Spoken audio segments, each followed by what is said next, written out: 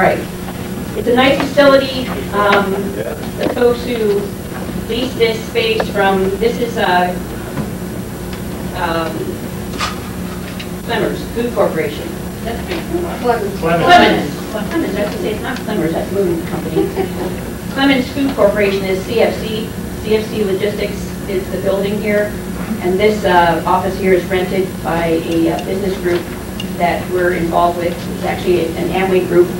And our, our leader, um, when, when I talked to him about, you know, the possibility of um, using this for a venue, was thrilled. He said, "We stand for everything you believe in, so we'd absolutely love to have you here at uh, considerable savings to us, so that's really super. And Jerry doesn't have to wear things with pockets, we can actually uh, take donations, uh, we can sell things, as, as you can see in the back, so um, we're happy to be here. All right, we always start with um, the Pledge of Allegiance and prayer, so I've asked our Trumpor if he would pray, so we'll all stand, and then we will pledge to the American. Maybe we should pray for Jamie too, after a day like that. I kind of had a day like that too. I have a totally blind friend who has, who sold his house and has to be out by tomorrow. Wow. And uh, he asked me to come up and help him move his furniture today, just as I saw that storm coming. But uh, praise the Lord, we got everything moved and covered with a tarp, and didn't even get wet. And he was praying. So let's pray. Father, Father God, we thank you so much that we have been placed at this time, at this place, in this wonderful country that was founded and built upon biblical principles by biblical, Bible-loving, Christ-loving people. Thank you, Lord, that you have given us opportunity to be involved in defending the Constitution that they wrote, defending the freedoms that they planned for us to have, and that you have blessed us so much with uh, the power of your Holy Spirit. Then all we can say is thank you. Thank you, Lord, for the people that have come here tonight to support this organization. Jamie's organization too, as she has organized the events for the evening. We pray that your Holy Spirit will be here to bless and give everyone uh, wisdom and understanding, especially the speakers who have come to make their presentations to us tonight. We pray that you will, you'll- you will be with them and give them wisdom to speak. We pray these things in Jesus' name. Amen. Pledge allegiance to the flag of the United States of America and to the republic for which it stands, one nation, under God, indivisible, with liberty and justice for all. Thank you, you may be seated. I wanted to um, start off by thanking some of our members who put some extra time into making um, our transition smooth. Jane Kissel, who is heading out the door and needs to turn around and wave, was the one who made those wonderful arrows on the signs. So wasn't that a help? Uh, A round of applause for Jane. Former teacher skills to work, and thank you so much. Bill here, Bill Jones is our um, website guy, uh, tech guy, and then Luke. um, Both of these gentlemen ha- came in on their own time and made sure they knew how the equipment all worked. so uh, let's give them a round of applause as well. Thank you to the setup crew, we appreciate that. Um, There was a ping pong table in the middle of the floor when we got here, so, so it definitely needed some setup work. Um, You know, if we, if we feel real energetic afterward, maybe we'll put it back up and travel around, you know? So my boys love to come up here and play. Okay, um, just a couple things I wanted to mention real quick, um, because some folks, if, I know each one of our couples has to leave early. On your way out, uh, just a caution, when you go back down AM Drive, there is a stop sign where that road comes over at right angles and goes over to the turnpike. Please make sure you stop. Big trucks come down that road, they do not have a stop, okay, headed for the turnpike. So uh, watch that stop sign. And then if you came from Quakertown Way, you don't want to continue on AM Drive because you cannot make a left at Baracos Pizza. You can only make a right. So make a left at that stop sign. Okay, down AM Drive, there's a stop sign, make a left, and that dead ends you right behind the Wawa. And then you go out that way, okay? What is the motel there? Uh, there's uh, Spring something sweets or something, you're going behind those. Right, that's the Yeah. goes behind. Yeah, it goes right behind them, yeah. Okay, um, and what else? Um, oh, none of you are smokers, but I have to say, there's no smoking on the property, so, um, just so you know that, in case you happen to invite somebody. Actually, they get like a thousand dollar fine if they, if somebody that uses this facility smokes on property, so that's, they're serious about it. Um, hey, wasn't that great news about Eric Cantor? Isn't that fantastic? Do you think that might have sent just a little signal to the powers that be in Washington? Hopefully that rattled some cages and shocked some people and made them wake up. Um, I think whatever we can do from a distance to help get, is it Kevin? David. David, David? Brat. Brat, David Brat. Whatever we can do to uh, help him get elected in the fall, it's very important now that he uh, beat the Democrat, which he should be able to do. They're evidently both professors at the same college. and Yeah, both professors at the same college. And um, it is a predominantly Republican area anyway. And obviously, his message resounded, you know, with a whole lot more than Cantor's waffling and uh, middle of the road.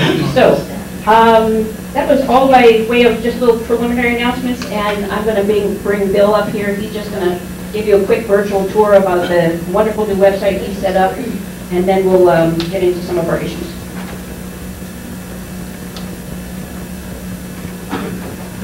Um, The, um, the website, um, has every, everyone looked at the website? Yeah, great.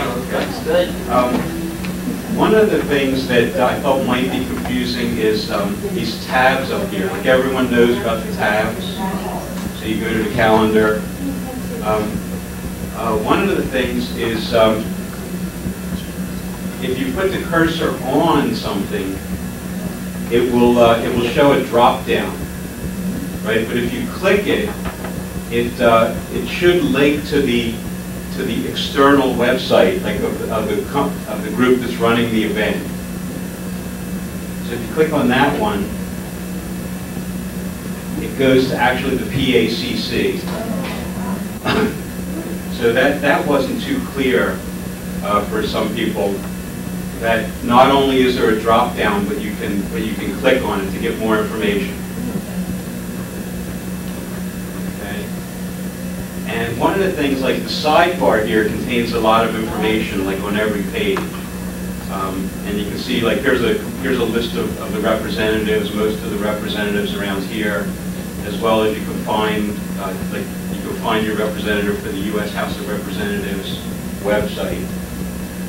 And um, also, there's, um, there's something all the way down here. Here's like the, um, here's a listing of the blog traffic. And this shows, um, if you click on unique, it shows here within the last 30 days, there was 912 people. 912 unique people that looked at the website. And, um, and also down here, I put a country counter, so, so it shows like, um, which of the people that have visited come from all different countries. So you can see there's Brazil, Italy, France. There's actually like a Ukraine too, yeah, somewhere. You're like the IRS, you know everything about it. Uh, No, just, just numbers. And then, um, when, on the tabs, when something opens up like this, like for home and then mission statement, each of those have, have a separate, um, separate page. And here was the announcement I put up, like, actually, I think this morning, um, with a late breaking news. I put in there, keep fighting, don't give up. Because I know it's easy to give up. Uh, But when, when a tab opens up like this, if you click on mission statement, this comes up with like, well, the original page that was there with Jamie's contact information. So, so if you have something like this, issues and legislation are two different pages. So this is a list of, of kind of like the issues that we're involved with. And um, like the videos, I, I've been putting some videos on there um, In the past, it was videos just from our group, but I've I've been putting on a few, a few different ones from other groups. Cantor's concession speech? Does that to make us Um. Yeah, that's like, that's right here. I- I It was very couldn't, uh, I couldn't embed that video directly, but this link right here shows the Cantor concession speech.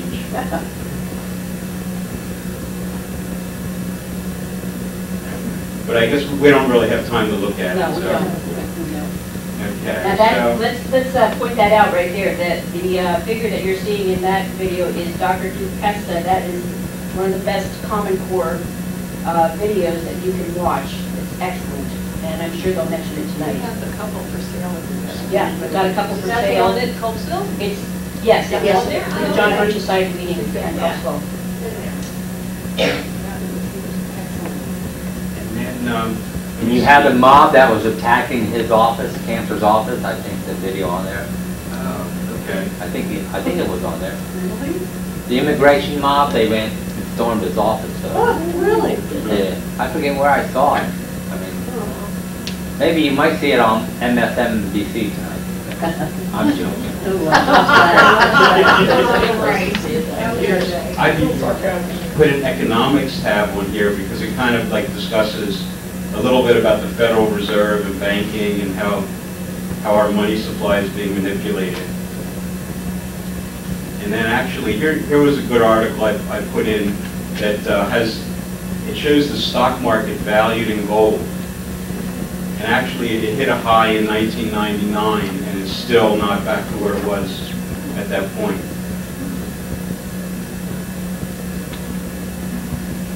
And that's about it, I guess. Um, Does anybody have any questions that, when they were looking at the website and was confused about anything? Very professionally done. Thanks. Thank you so much, for so much Okay. information. Absolutely. Thank you, terrific. Go ahead. Yes. So now the guest, the next thing I have to do is play the video, play the DVD, right? Yeah, yeah. Okay. So the next thing on our agenda tonight um, is um, one in a series that we're picking back up. um, what's that, Judy? Everybody has the outline. Oh, yeah.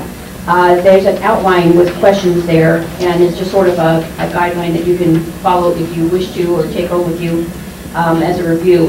But this is um, the Constitutional Literacy Series by Michael Farris. Are you all familiar with Michael Farris? Homeschool Legal Defense Association, one of the top constitutional lawyers. So this is about a 20-minute video, and we are going to play that now. And by the way, um, uh, this is something that we'll be discussing on the board at our meeting tomorrow, but um, I was thinking that we would probably take the first, or or possibly take the first uh, half hour for this video every meeting, and then start the meeting proper if we have speakers or whatever at seven, go seven to nine. So Some folks are a little hard pressed to get here at 6:30, and we don't want to leave out the um, education on the Constitution, since that is why we're here.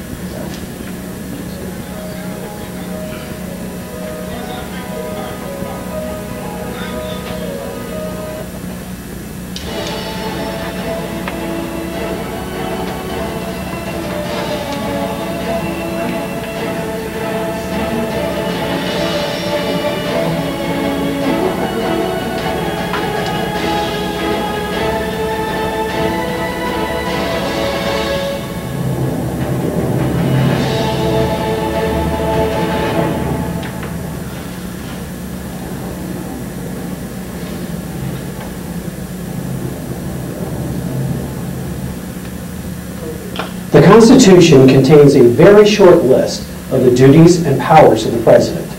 The President is the Commander-in-Chief over our military. He may require each of his cabinet officers to give him their opinions in writing on the performance of their duties. He may grant pardons, but not in the case of impeachment. He can make treaties, but only with the advice and consent of the Senate. He has the power of appointment for senior officers and judges, again with the advice and consent of the Senate. He has the duty to deliver a message on the State of the Union.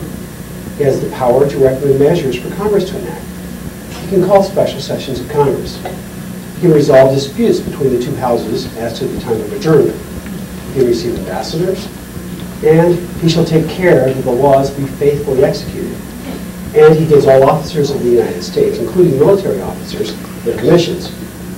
There is very little controversy about any of these listed powers. Almost all of the controversies arise when the president acts outside of these explicitly enumerated powers. Here are some of the major questions we face today about presidential power. First, can the president send our troops to war without a declaration of war by Congress? Second, can the president and the executive agencies, which he controls, make executive orders and administrative regulations that have the force and effect of law? Third, can the president enter into some kinds of treaties without the consent of the Senate? Each of these questions have a direct answer in the Constitution, which should leave no room for doubt. Article 1, Section 8 gives Congress the exclusive power to declare war. Article 1, Section 1 says that all legislative powers herein granted shall be vested in the Congress of the United States. And Article 2, Section 2 expressly declares that the President's power to make treaties is conditioned on the proviso that two-thirds of the senators present concur. Despite these clear rules, our current practices are an obvious violation of the Constitution. There were 53,686 Americans killed in the Korean War. 58,209 were killed in Vietnam. 1,505 Americans have been killed in Afghanistan. And in the current war in Iraq, 4,439 Americans have been killed. Over 100,000 Americans killed in wars where Congress has never declared war. In fact, we've never declared war since World War II. Our nation is not in compliance with the Constitution when it comes to the entrance into war. Our nation is simply flooded with executive orders issued by the President and by the federal regulations issued by the horde of agencies that are under his control. On March 8, 2011, President Obama issued Executive Order 13,568, which is the running number of executive orders issued by all presidents. All federal regulations are found in a series of books called the Code of Federal Regulations. There are approximately 200 books of administrative laws in this collection of federal regulations. That's 200 books of laws, none of which have ever been passed by Congress.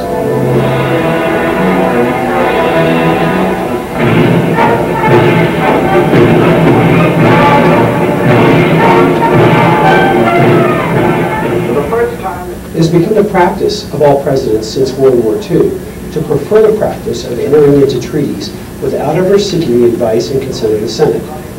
Our State Department calls these treaties executive agreements, a term that has no meaning in international law. Every single executive agreement is considered a treaty in international law, regardless of what the State Department or White House chooses to call it. The United States is currently a party to over 900 treaties that have been properly ratified by the United States Senate. But we are also parties to over 5,000 treaties that have not been ratified. But our White House and State Department deems them to be binding by the trick of simply labeling them executive agreements. We should not be so partisan in our thinking to conclude that presidents from only one political party are responsible for all this. Both parties are presidents that have created all of these kinds of constitutional violations. Nor should we think that the White House is taking power away from an unwilling Congress. Congress is fully on board with this transfer of its legislative power to the White House.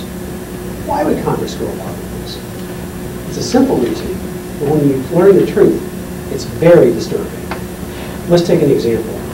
Congress passes a law declaring that it wants the nation to pursue a policy of clean air.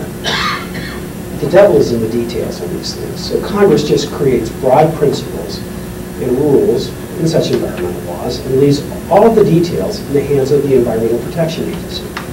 The EPA makes the detailed rules that all farmers and businesses must obey. If the EPA makes a rule that defies common sense and is really onerous, then no member of Congress can be held politically responsible. Congressmen didn't vote on the specific rule question, so they can deflect all political responsibility away from themselves. They can even claim, I wrote a stern letter of concern to the EPA protesting this very rule. The stern letters of concern are of no consequence to the EPA and provide no protection to the business owner who must comply with these difficult and burdensome rules. Congress gets all the glory for protecting clean air and none of the political responsibility for the detailed, burdensome, overreaching rules created by the Environmental Protection Agency. This is a powerful political gimmick that robs us of the democratic process because the voters cannot vote out the EPA and Congress avoids all responsibility. It is a powerful political gimmick. The same thing is true about war.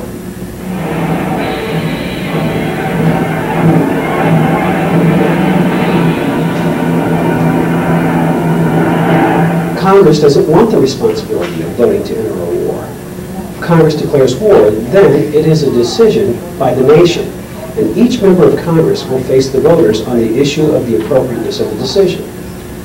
But if we enter a war solely on the decision of the president, then Congress can support the war when it's going well, and then criticize the war if it's dragging on too long or starts going badly.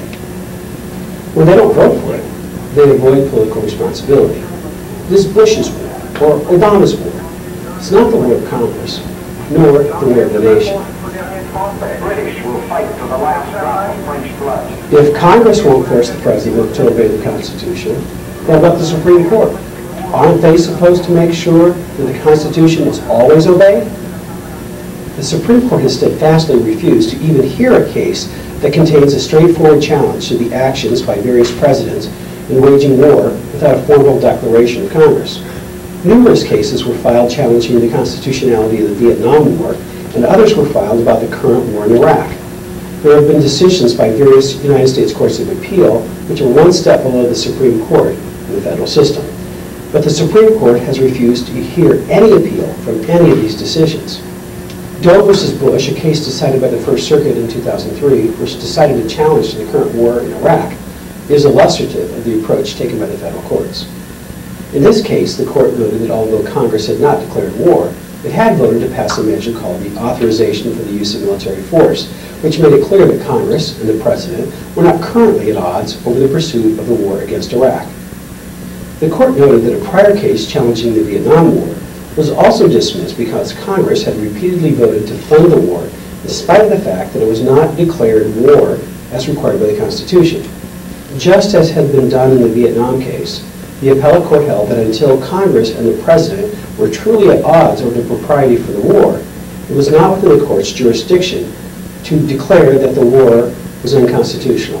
The problem with this approach is that it treats the war issue as if it was a battle only between Congress and the President.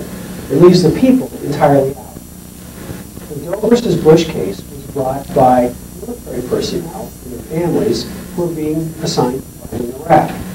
The federal courts ruled they had no stand, they had no stake in the controversy that justified a court ruling on their behalf. The court said they would only intervene if there was a true standoff between Congress and the President. The court seeks to avoid these kinds of cases because of a legal theory called the political question doctrine. It's unseemly, the courts have said, for the judiciary to insert itself into the middle of a political dispute. It should show respect for the coordinate branches of government by staying out of these kinds of questions. Think about this for a minute. Which is more of a political question? People who are assigned to go fight or die ask the courts to determine if it's lawful to send them to war when Congress has not declared war? Or Congress and the President disagree about whether a particular conflict is proper, and this dispute ends up in court. In the first case, there's a pure question of law at stake. Does the Constitution require a declaration of war? In the second case, the conflict between Congress and the President is not going to be about the power of the President to enter into a war unilaterally.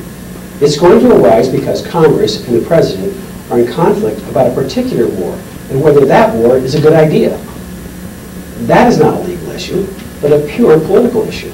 The federal courts should do the exact opposite of what's been done. They should stay out of any dispute between Congress and the President over the wisdom of a particular war. But they should decide whether the Constitution permits one man, the President of the United States, to send Americans off to war without compliance with the requirements of the Constitution. Now, of course, Congress could impeach a president for high crimes and misdemeanors for sending Americans to war without a declaration. But that would take a courageous Congress. We're woefully short of those. Now we're going to turn to the issue of whether the president can be given the legislative authority pass laws despite the fact that the Constitution says all power for legislation lies with Congress. Keep in mind that for constitutional purposes, there is no difference between a direct presidential action and that of one of his agencies, like the Environmental Protection Agency, insofar as it comes to the power to make administrative rules that bind private parties.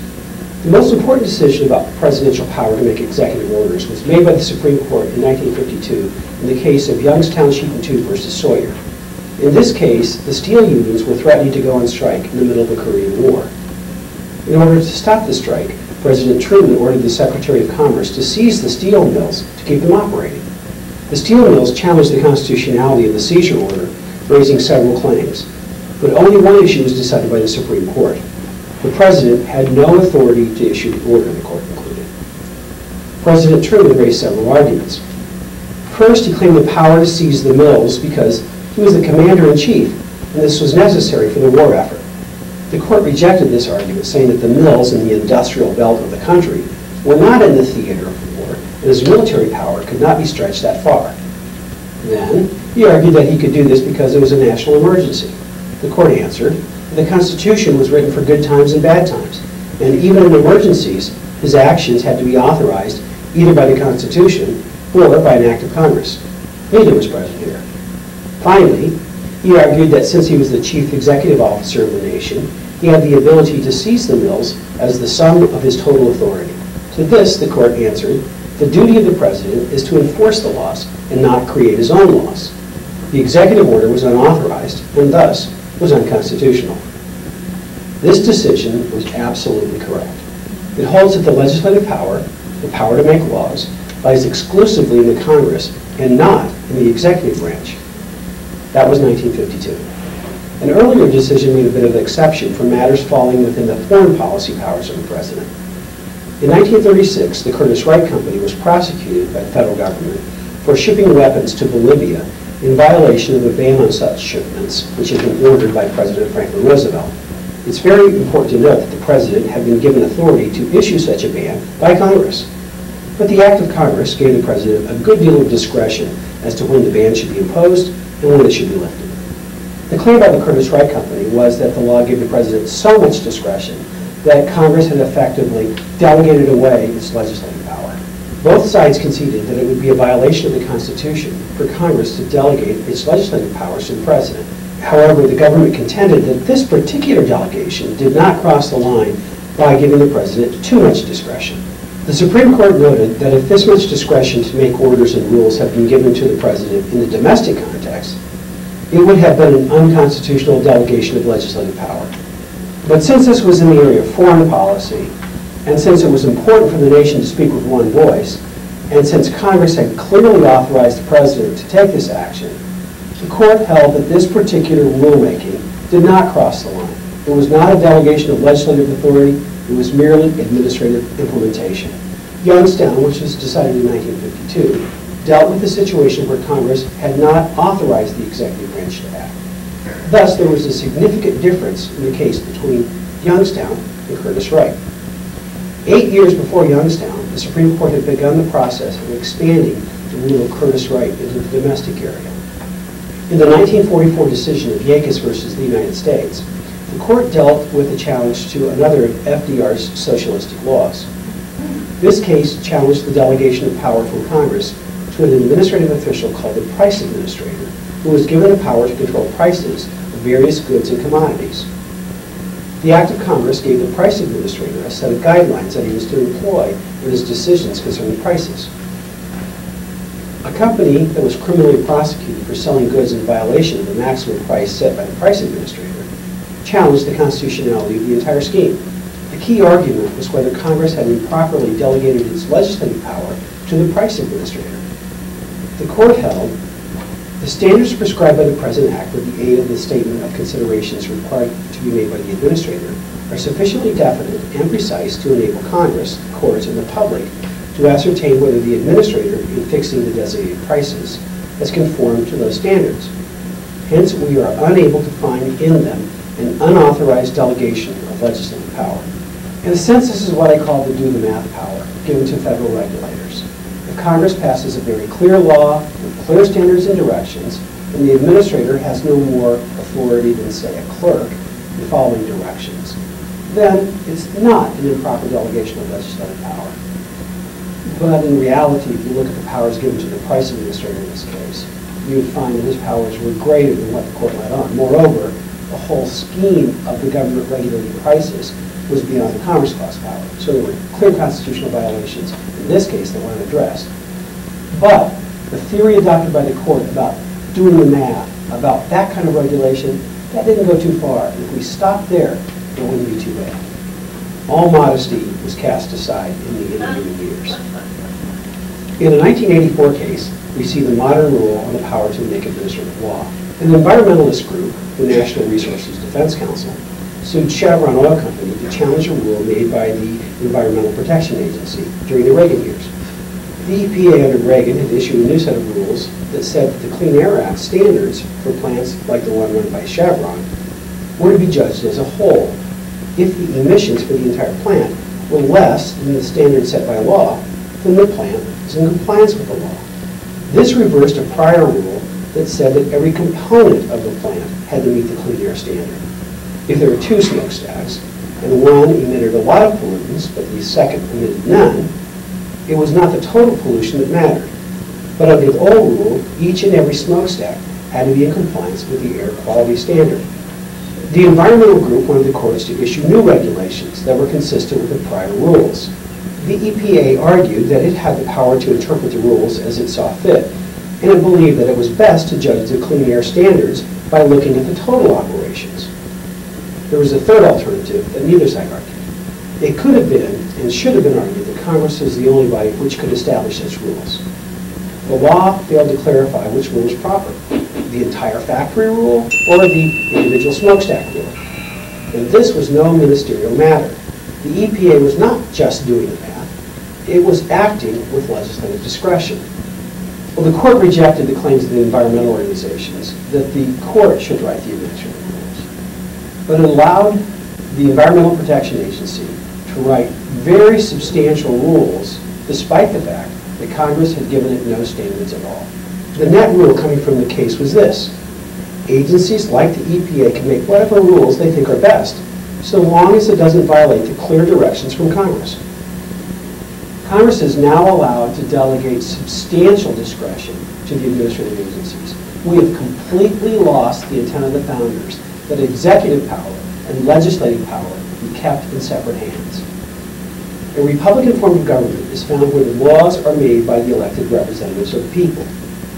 We have 200 books of federal administrative laws. In this arena, we are no longer a republic. And in Article 1, Section 1, which proclaims that all legislative power shall be vested in the Congress of the United States, is violated by thousands of administrative laws. There are those who will argue that this situation is justified because our nation has become so complex that it is impossible for Congress to consider all the laws we need. We must have the administrative lawmaking function to fill in the details, they argue. But we must remember that the vast majority of these laws flow from a misreading of either the Commerce Clause or the General Welfare Clause. Congress would not be too busy to fully live up to its legislative duties if it wasn't chasing after the theory that it was the savior of mankind, trying to solve all the world's problems. If would only do the things set out in the Constitution, Congress would have plenty of time to pass the laws we need. Finally, we turn to the practice of presidents and state departments to enter into treaties, over 5,000 treaties, that have not been ratified by the United States Senate. How does the Supreme Court allow this to happen? It could not be more clear in the text of the Constitution. And in international law, all of these so-called executive agreements are considered treaties. In a 1942 case, curiously named United States versus Pink, the Supreme Court decided a controversy between a private Russian company and the Soviet Union in an action brought by the United States government on behalf of the Soviet Union. When FDR recognized the Soviet Union as a nation in 1933, he entered into a treaty, he called it an executive agreement, with the USSR, which had the effect of agreeing to turn over all privately owned Russian companies that had property found in the United States. A Russian insurance company had substantial assets in the New York Bank, and the U.S. government sued to take that money away from the private parties and give it to the Soviet Union pursuant to this executive agreement. Of course, the executive agreement was never presented to the United States Senate for ratification, but the failure of Franklin Roosevelt to seek ratification of this agreement by the Senate was of no consequence to the Supreme Court. They ruled the nation was to speak with one voice, and FDR had spoken. It did not seem to matter that our Constitution set up a procedure for conducting this particular kind of foreign policy. Written and binding legal agreements between the two nations require Senate ratification. Despite this fact, New York's laws, which protected the assets of a private company, were overridden by FDR's private agreement with the Soviet Union. And we now have over 5,000 of these private agreements between a president and a foreign nation. And private people that are affected by these agreements have no recourse in our courts, thanks to a Supreme Court decision aptly named Hank. I hope it's obvious that we need presidents who understand and obey the Constitution, members of Congress in both houses who understand and obey the Constitution, and a president and a Senate who will cooperate together to make sure that our Supreme Court justices understand and obey the Constitution of the United States. When government acts and works and rules outside the Constitution, we are no longer a nation of laws, we become a nation of men. That is exactly the opposite of what the founders intended. And we've lost our legacy, and we're losing our freedom.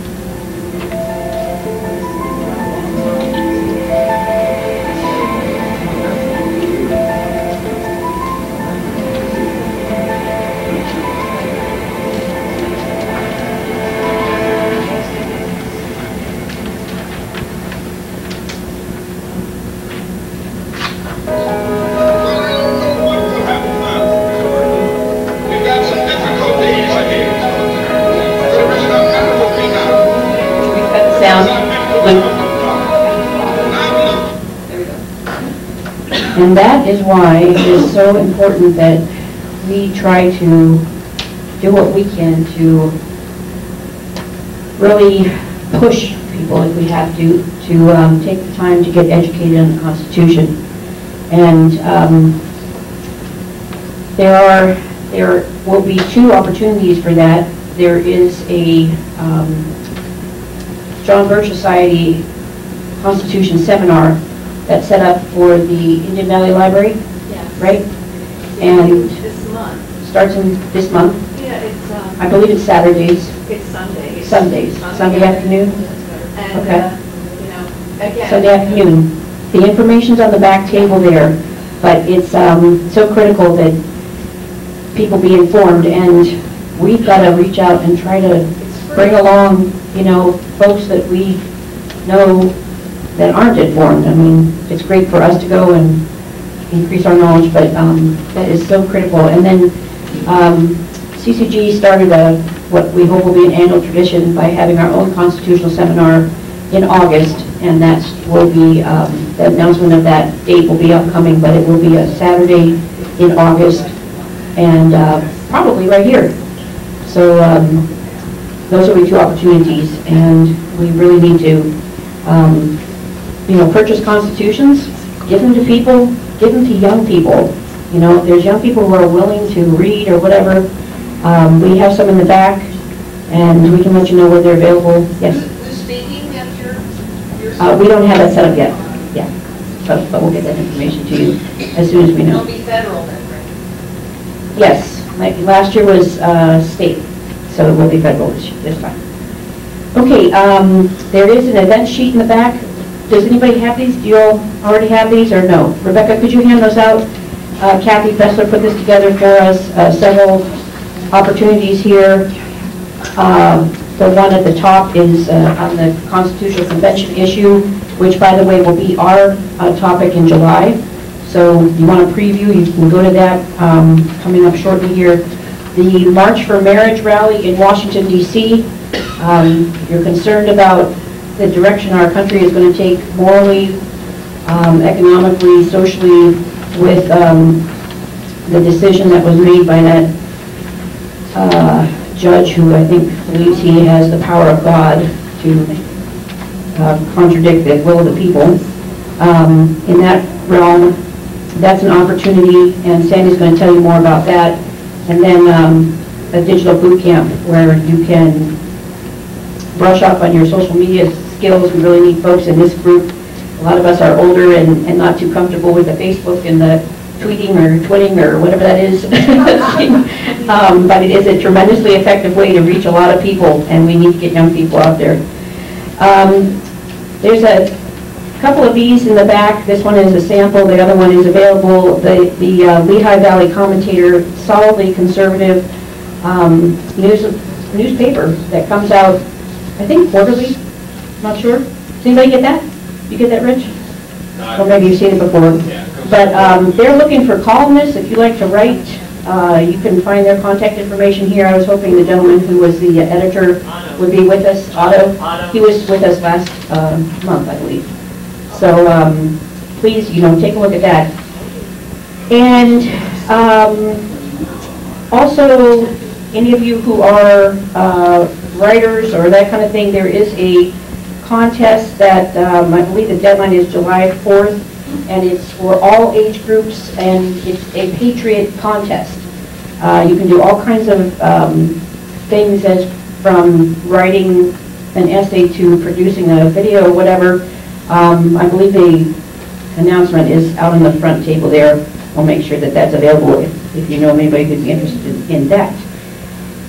Okay, and, um, oh, I forgot to tell you, in case you don't know, the men's bathroom is off this back hall here, and there is another entrance. If you go through the lobby and around, you can take the roundabout way. Uh, That's where that is, the bathroom is in the uh, lobby there. All right, now, um, we wanted to move to um, a little report, short report, and um, some very encouraging news about patriots who took the time to get on a bus and go out to Harrisburg last Wednesday to um, support our legislators who are trying to put, push through this Paycheck Protection Act. Um, As you know, that, that would be a piece of legislation that would significantly alter the political power of the public sector unions, because lo and behold, when they have to collect their own dues, guess what? Their funds go down. I wonder why.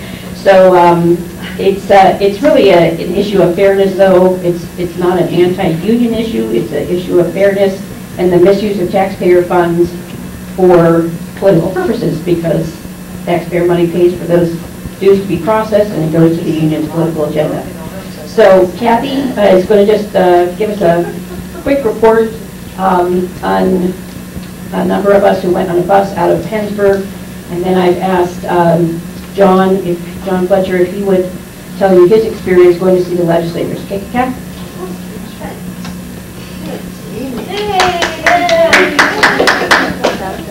Clap too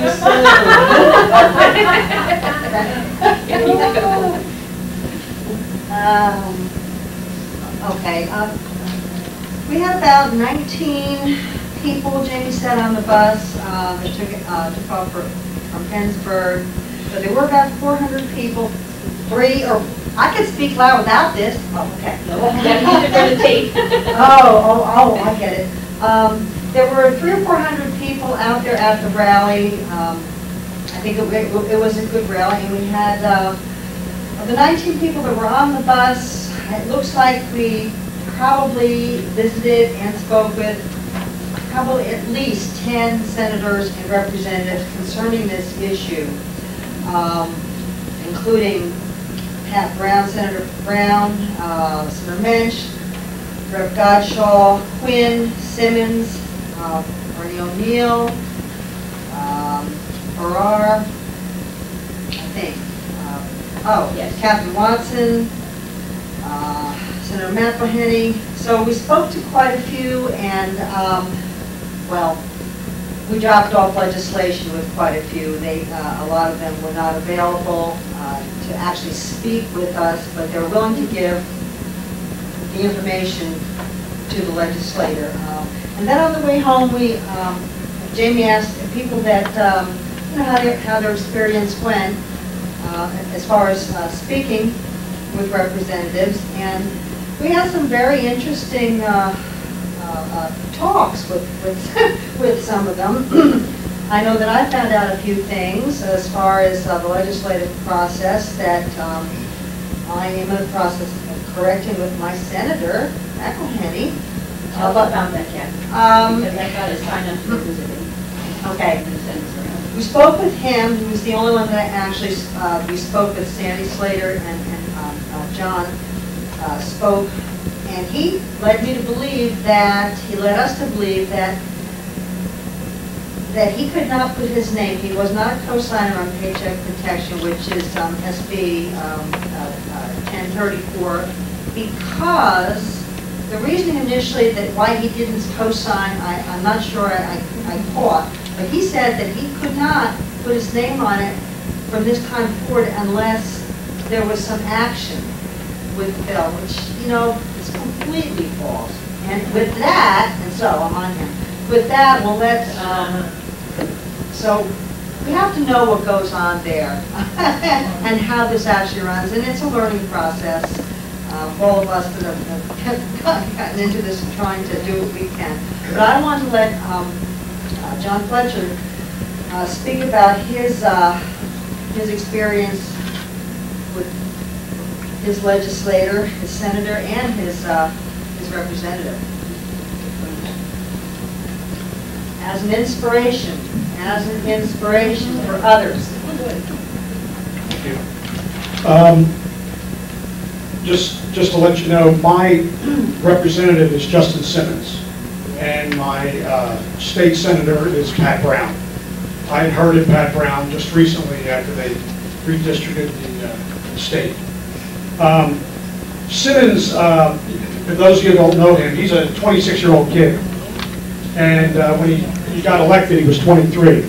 And uh, I guess it goes back about four years now, he challenged uh, Karen Beyer, who was the biggest rhino you could ever know, uh, voted almost constantly with Democrats, even though she called herself a Republican.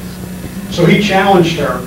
And the, the thing that intrigued me about Simmons, I live about 10 minutes from here in the woods, and um, he visited all the homes out there personally. And I had never had any, any kind of uh, uh, government guy, except maybe the IRS, but I didn't answer the door. Visit my home before. And I I wasn't home the first time, and he left a little note, and he actually showed up a second time. So uh, that word of mouth, and some of my neighbors were really surprised at that, and we really got on the Simmons bandwagon. Um, He was a big conservative, he, uh, you know, he, he looked the part. And uh, he actually beat Karen Beyer in the primary, and then he won his, uh, his election. Uh, He's been out there three and a half years now. So um, we got there a little early, I think it was about 45 minutes before the rally. And uh, we decided, uh, Sharon, my friend, and and Bob, and uh, Brian, I'm not sure if he's here tonight, I don't think he is. We went, uh, he- we went to visit his office. And he's got a secretary uh, by the name of Lori, who I dealt with before, and she's rather nice, but um, she played the little game, well, I'm not sure he's in the office, but we could hear him talking around the corner.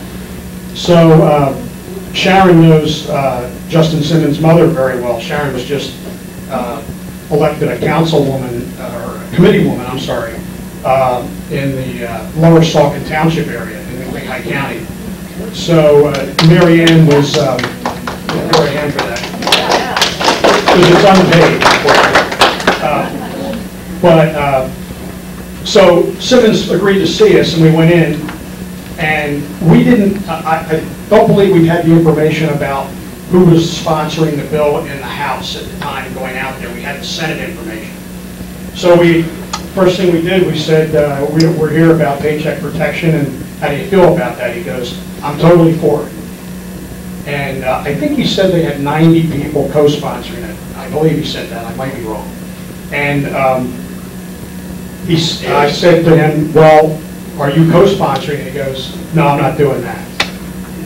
And um, I said, why not? He said, well, you gotta understand, there's not a big difference between co-sponsoring and being for something. And you could tell he was like getting kind of a little edgy and just fidgety and a little embarrassed. Because again, we, we've known this guy for, for the, the- quite a bit. Uh, So he, uh, he says, and, you know, the unions would run- put up fifty to hundred fifty thousand dollars against me in my uh, reelection campaign.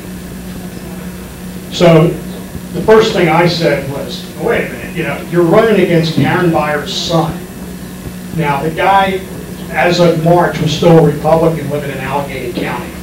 So they can't get anybody to run against him, and so they pulled this guy out, brought him back, he's living with his mother in, in, somewhere in Lehigh County.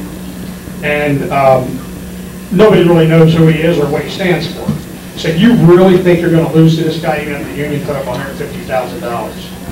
And he, he, he kind of got, well, maybe not, I don't know. Then uh, Sharon used the old, uh, well, I'm really disappointed in you, Justin, that routine. And, uh, because, again, the guy, up until now, had been very conservative in his, in his thought patterns. And then uh, I remember Bob using the thing, well, you know, if you really wanted to come here and make a difference, you gotta, you gotta take a chance and you gotta stand out, and and if you wanna be great at something, you gotta do it when times are tough. So, um, looking back, some of the things he said as well, there was more to it than just the union. He has, he has no confidence in Corbett winning reelection. He Basically said, he said he's done. Uh, So, you know, I think he thinks it's gonna get a little tougher in in Harrisburg for him come, uh, come January. Um, He also said, and this was kind of disappointing, that if it doesn't get, any of these bills that are up uh, to be, to be voted on don't get passed by June 30th, they're not going to get, they're not going to get done at all. Because they've got to recess, then they go on their, their little campaign trips. And then, of course, the lame duck session, nothing of any significance he thought would get done. So I don't think he wanted to stick his neck out. The bottom line. So he gave us 15 minutes, I, I can't complain about that, face to face. And when we got up, he said, we were starting to walk out and shook hands, he said, you know, I'm gonna rethink this, this situation.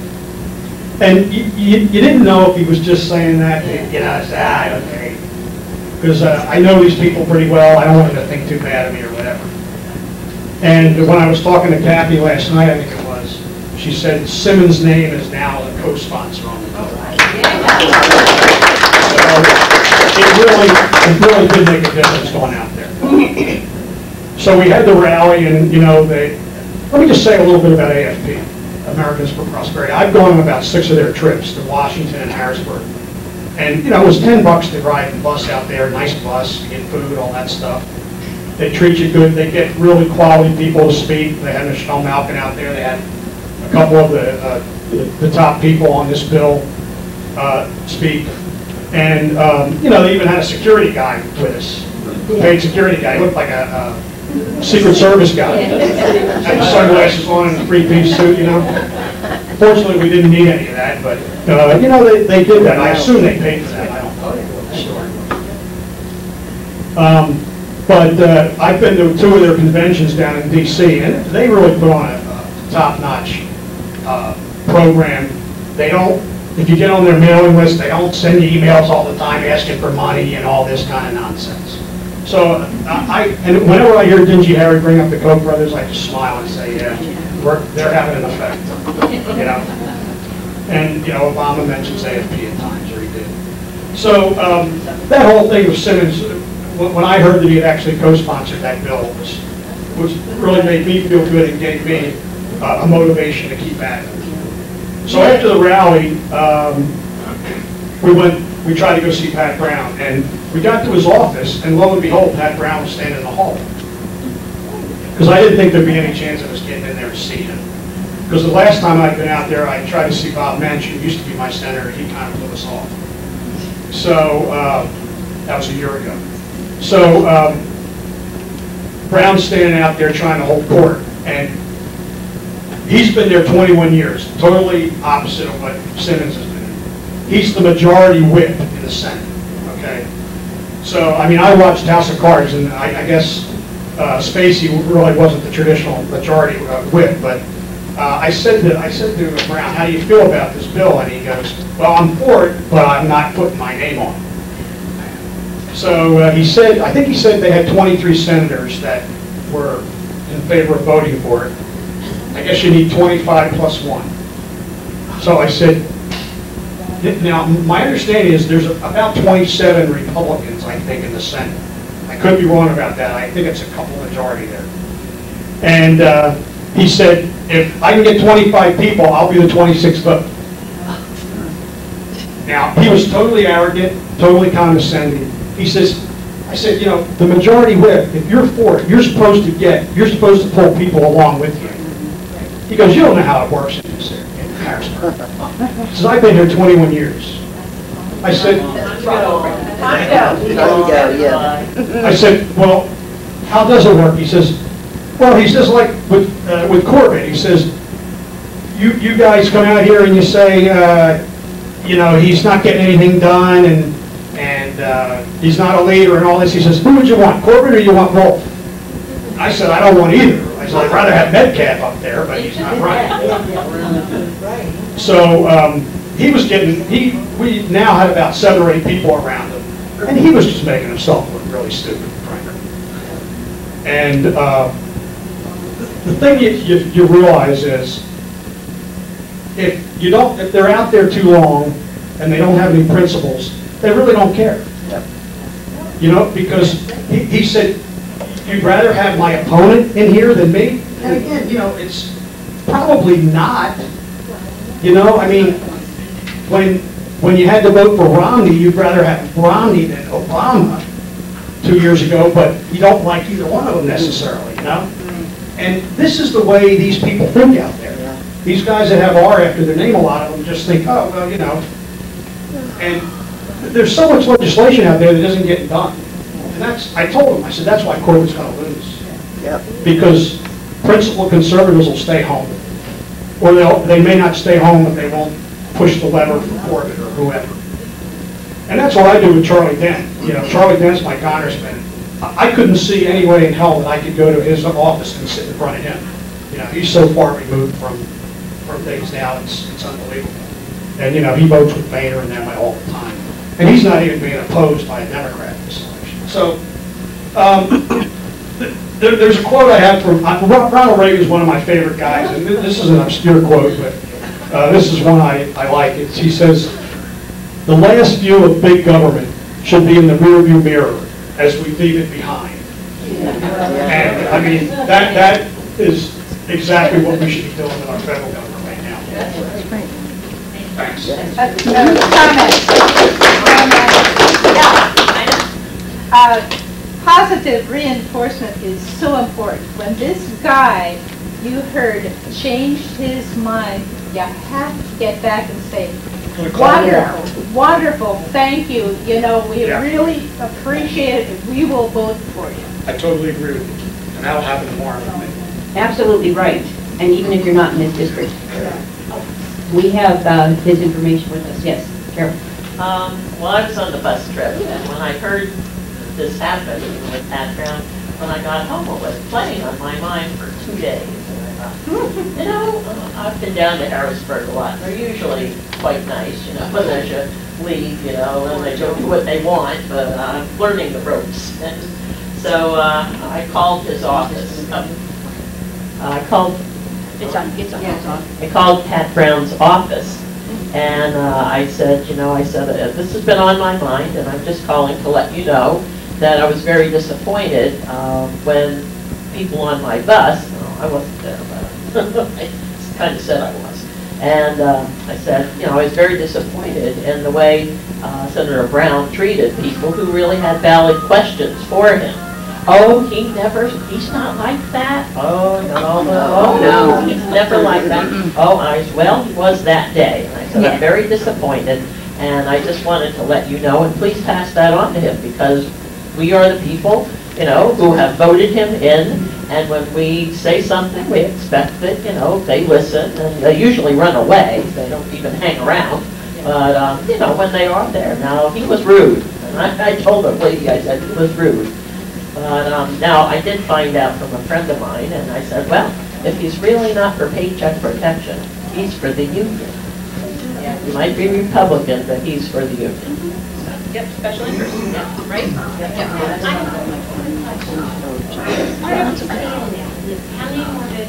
Uh, For the Paycheck Protection Act, the, um, there's information on the back table that looks like this. We also sent that out as an email, I believe, today, right, Phil? I think that went out today. So uh, you can access it that way too. But um, I, I looked at the information that we had kind of gathered from Harrisburg and what I could find online. The bill is definitely going to pass in the House. So uh, Metcalfe and Cutler both said, no problem in the House, the problem is with the Senate. All right, on the Senate side, and you see on the back of this, it has the, the Senate State Government Committee that is holding up the process. It also has the House State Government Committee, all 15, not all 15, 13 of those 15 Republicans were co-sponsors. Now, thankfully, to our activists who went out to Harrisburg, now 14 of the 15 are co-sponsors. Um, And the information here indicates uh, the one that is not. But on the state government, uh, on the Senate side, you have um, a chair who is not a co-sponsor. You have a vice chair who is a co-sponsor, then the president pro tempore, who is also an officer, you know, and and a leader, also not a co-sponsor. Essentially, there's seven, yes, there's seven Republicans and only three are co-sponsors on this.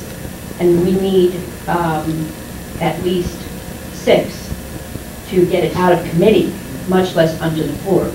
And then we were told that they think that they're at least two Senate votes short of a majority if it comes to a floor vote. So it first has to get out of committee to go to the floor, and the, um, the way to get that done is to call, number one, the Senate leaders. So the Senate uh, Majority Leader is Pileggi, and then this Browne, unfortunately, is uh, the whip. Neither one of them are actively pushing it. Um, And then you call the the chair and these Republicans on the state government committee and tell them you want it out on the floor, as well as calling your own representative and and uh, senator. But it has momentum. The problem is, they're hearing a whole heck of a lot more from teachers, the teachers' unions who don't, you know, I, I love teachers, but on on this issue, they're just following, you know, what they're told to do, I guess, by the bosses and not really looking at the issue um, clearly, but they get flooded with these teachers' letters and, and phone calls. So um, please, please, uh, either take this information or access it online. This uh, gives you guidelines as far as, you know, what you can say and, and who you can call. But um, letters are even more effective than calls, okay? Um, So if you can take the time to write, that'd be terrific. And we do have some information as far as uh, addresses and whatever available when we break up at the end of the meeting into some action stations, you know, that's going to be available to you, or you can just find it online, it's not hard to find. But um, the most effective thing is a personal visit, right? Justin Simmons got his name on there because of a personal visit. Okay, one of the holdups, um, from our perspective, on this committee is Chuck McIlhinney's. So, uh, we are going to go, what's that? Well, man says that are only two more are needed, but, and he's on the committee. Yeah. But he, he won't co-sponsor. Yeah. So, and Chuck is one who always postures himself as a conservative, you know, on the right side of these things, but I mean, he needs tremendous pressure. So I'm sending this around, um, we are going to go visit him, and I would love to go visit him with 10 people. Um, The the more the better. We don't have a date yet, so if you'll put your email and your phone number down, we'll get back to you and we'll set up a date, hopefully next week, when he's in town, which I'm assuming is a Thursday or Friday. Constituents only. constituents for McIlhinney, yes. So if you are in a different state senator district, um, then I'm also going to pass around a petition that we signed on the bus, so if you already signed this, folks, on the bus, you don't want to sign it again. This was put together by the Berks County Patriots, and we're turning it back into them, and then they're going to, um, you know, turn them in en masse to their legislators. So I'm going to send that around as well. But um, please, you know, put your name down if We have to be in Berks. no, no, no.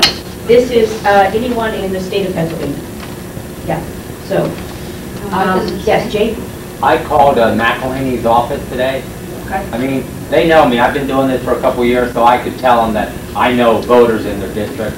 So anyway, my name is Jay Russell, I thank you for the people who voted for me. Jay ran for state committee, courageous uh, challenge to the endorsed.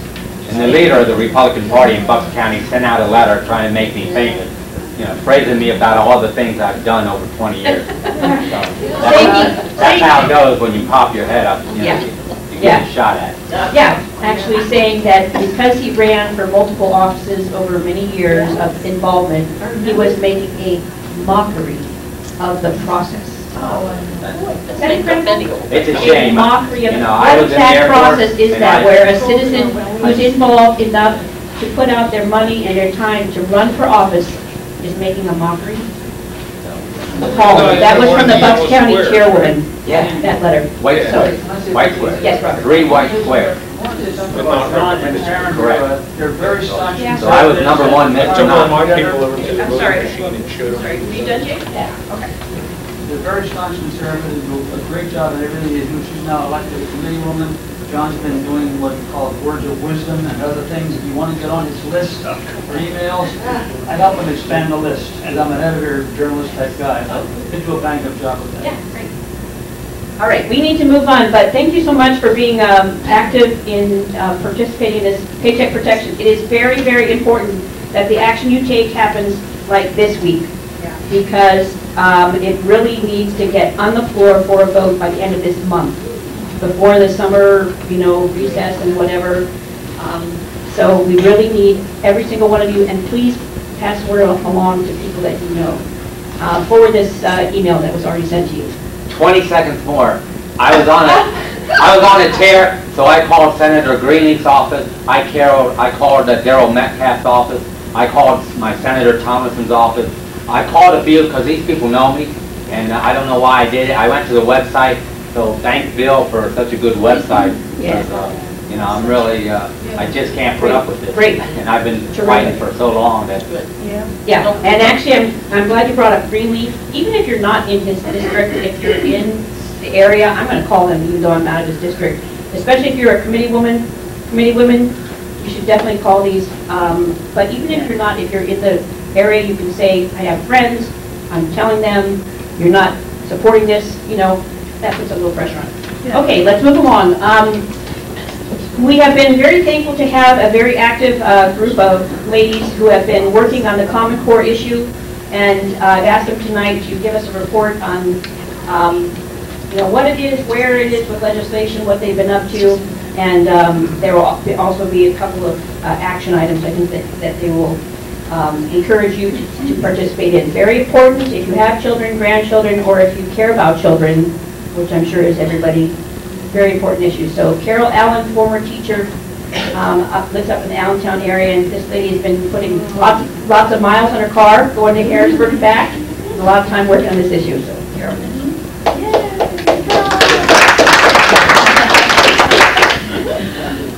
And I like it. I wish I didn't have to do it for the reason that I'm doing it, but I like getting out and talking with people and trying to get them to see my way, because I'm right. So, well, um, I worked for 37 years. I've added up, oh, 37 years, that's impossible, but uh, I have. And because of this country, I, I consider myself so fortunate that I've had opportunities and I've taken them. Um, and I, I'm a teacher, I taught for 26 years, and I've worked at Air Products for five years, and left teaching. And then uh, my husband and I moved to New Jersey, and I ended up getting a job in New York City for TIAA-CREF. I was a manager of a training group there. So I've been on the teaching side and the business side. And I think we can all agree that we want our children to be the best they can be, that they can get the best jobs, um, go around the world if they want to, but have the opportunities that we all had and take them, you know, if you get them. But those, those things are going away now, and and it up- upsets me so much because uh, I know how teachers work hard, and teachers are really trained to, um, you know, t- take children from where they are, you know, and we're all different. And this new system they have now is, I consider it a one-size-fits-all. And I was down in uh, Representative Clymer's Education Committee, and I was standing behind one of the representatives, and he called children widgets. Now, widget to me is, they're all the same. Well, Yeah. children are not all the same. And uh, this process that they've come up with, now, I just found an article today that um, it's been 50 years that the government has been involved, involved in our education, and it's 50 years too long. And I've been involved in it for most, a lot of that time. Um, And they, they go for about 10 years, and then they change the name and call it something else, like, uh, oh, they had uh, outcome-based education in the 80s. Now, that's when I was in the business world, so I kind of missed that.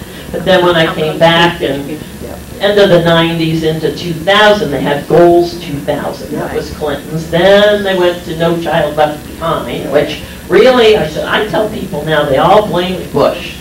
Well, Bush took it from Teddy Kennedy. It was Teddy Kennedy's baby. He came up with it, and he was kind of on the way out, and then he and Bush were getting to be friends, and he pushes it on Bush, and Bush, like a dumbbell, says, okay, we'll continue on with this.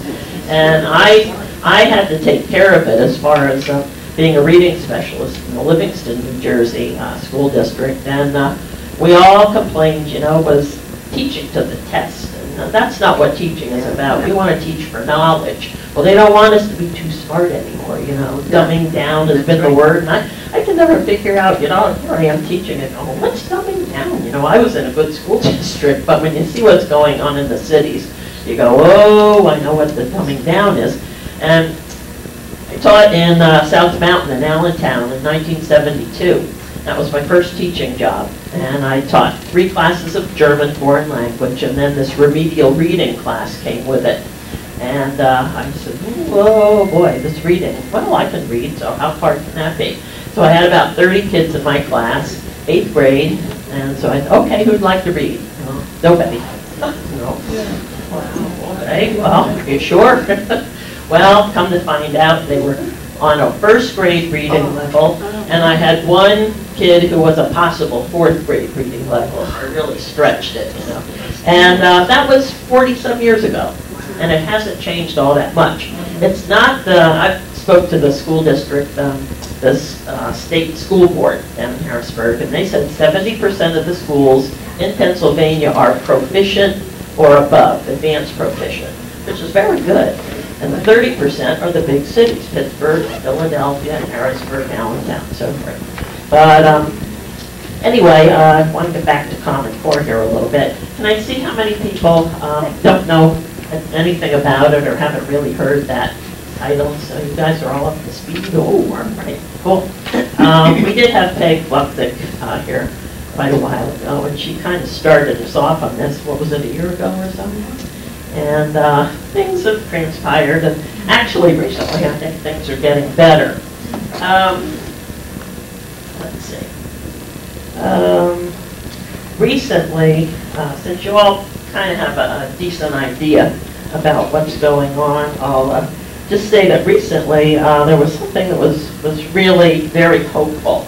Um, Oklahoma, Governor Mary Fallin, uh, who is a Republican, and she's up for governor again in November, and Governor Haley from South Carolina, they both signed bills that their legislature put together and voted um, to have Common Core taken out of their state. Now, it's not actually a done deal, but it's pretty darn good, because they're not like Pennsylvania and Indiana, because they just renamed Common Core state standards. Ours are Pennsylvania academic standards. Well, if you put them side by side, they're exactly the same, except maybe a couple commas were kind of spread around the different, you. And they will lie to my face when I go down to Harrisburg, we don't do Common Core. Yes, you do. We're right here. They could be looking at it and reading it and say, it's not the same. Well, it's not, because there's a couple commas in there. You know, so, uh, Right. Um, So, the overview, I guess, um, that I'm seeing, it is so convoluted, you can't believe it, because I've been probably in this for about two years.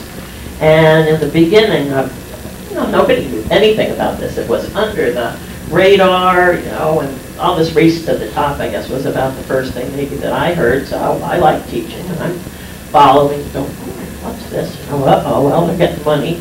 Hmm, okay. Well, um, there are a select few groups who are in this to make money. And it's greed. And it's Bill Gates, and it's the McKinsey Consulting Corporation that's taking care of all the data collection that you hear about, data mining, all these things, hundred, four, over 400 data points, and I heard 528 the other day, uh, uh, data that they want on each child from the time they're born until the time, P20 they call it, two years out into the workforce. And uh, they'll swear up and down, they're not doing it in Harrisburg, but they are. And um, I guess uh, when I see all these very greedy people who have billions of dollars to begin with, it really aggravates me, you know, but um, they're looking out for themselves, and it's the elites. And I also found another thing. Now, with our children, um, and all this testing and so forth, uh, we don't know how much this is going to cost. Senator Dinniman has asked every which way, up and down, sideways of the state. Can't find out how much it's going to cost. Uh, what is, how do you say her name? Dumarquez? Dumar, Dumarest.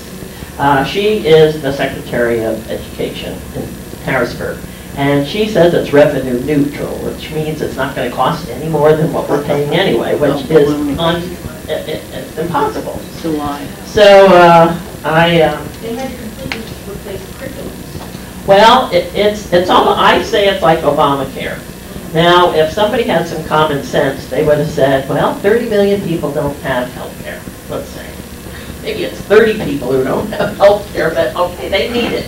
Why bother the rest of us right. when those 30 or 30 million, whatever it is, we'll just give them what they need.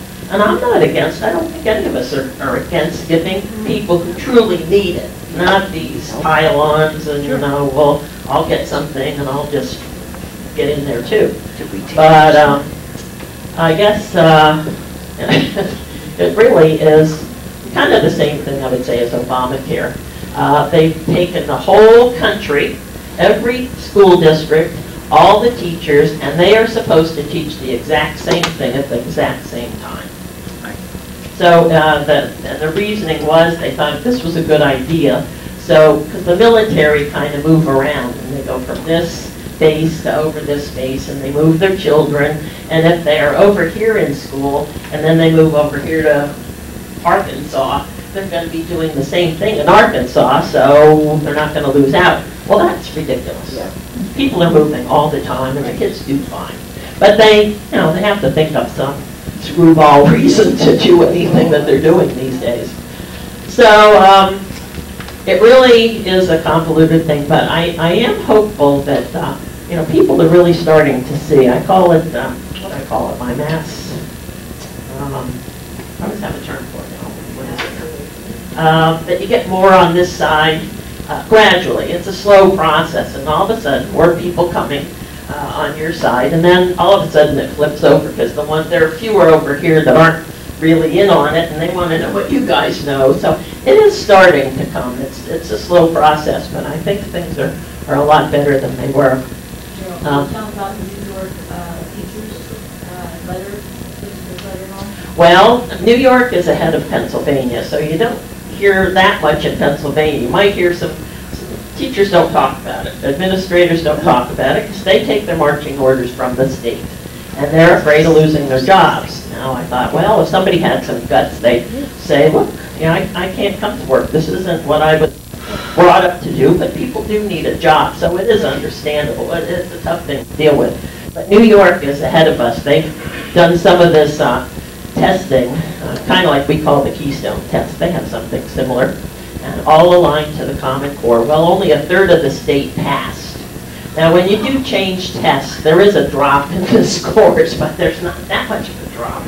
And the way they put it together, um, it wasn't educators who put it together in the first thing, which really gets me, because I thought, oh boy. And you can't see any of the tests, the teachers can't see what the questions are, so you're teaching blind. I- I- How are we supposed to do it? These standards, standards to me aren't much of anything. It's a guide, it's the lowest of what you want to teach. Some kids have to try to come up and meet that floor, sometimes they call it. Yeah, and then the smarter kids want to go way beyond that. You know, we have a lot of kids who can surpass these standards. So, um, I saw a hand in the back, yes.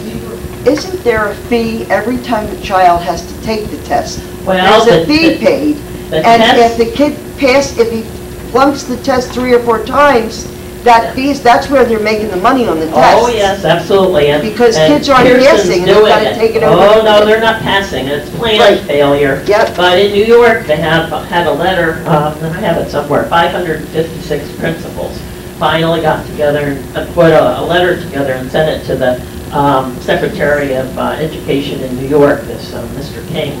And that's saying something, you know, that they realize it isn't right. They all have had parents up many years. You know, so it's starting to heat up.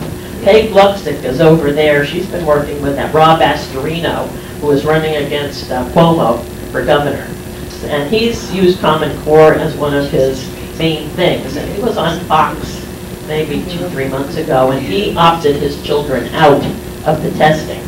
And he talked about it on, I saw him talk about it. So uh, that's a good thing, too. And uh, so, yes.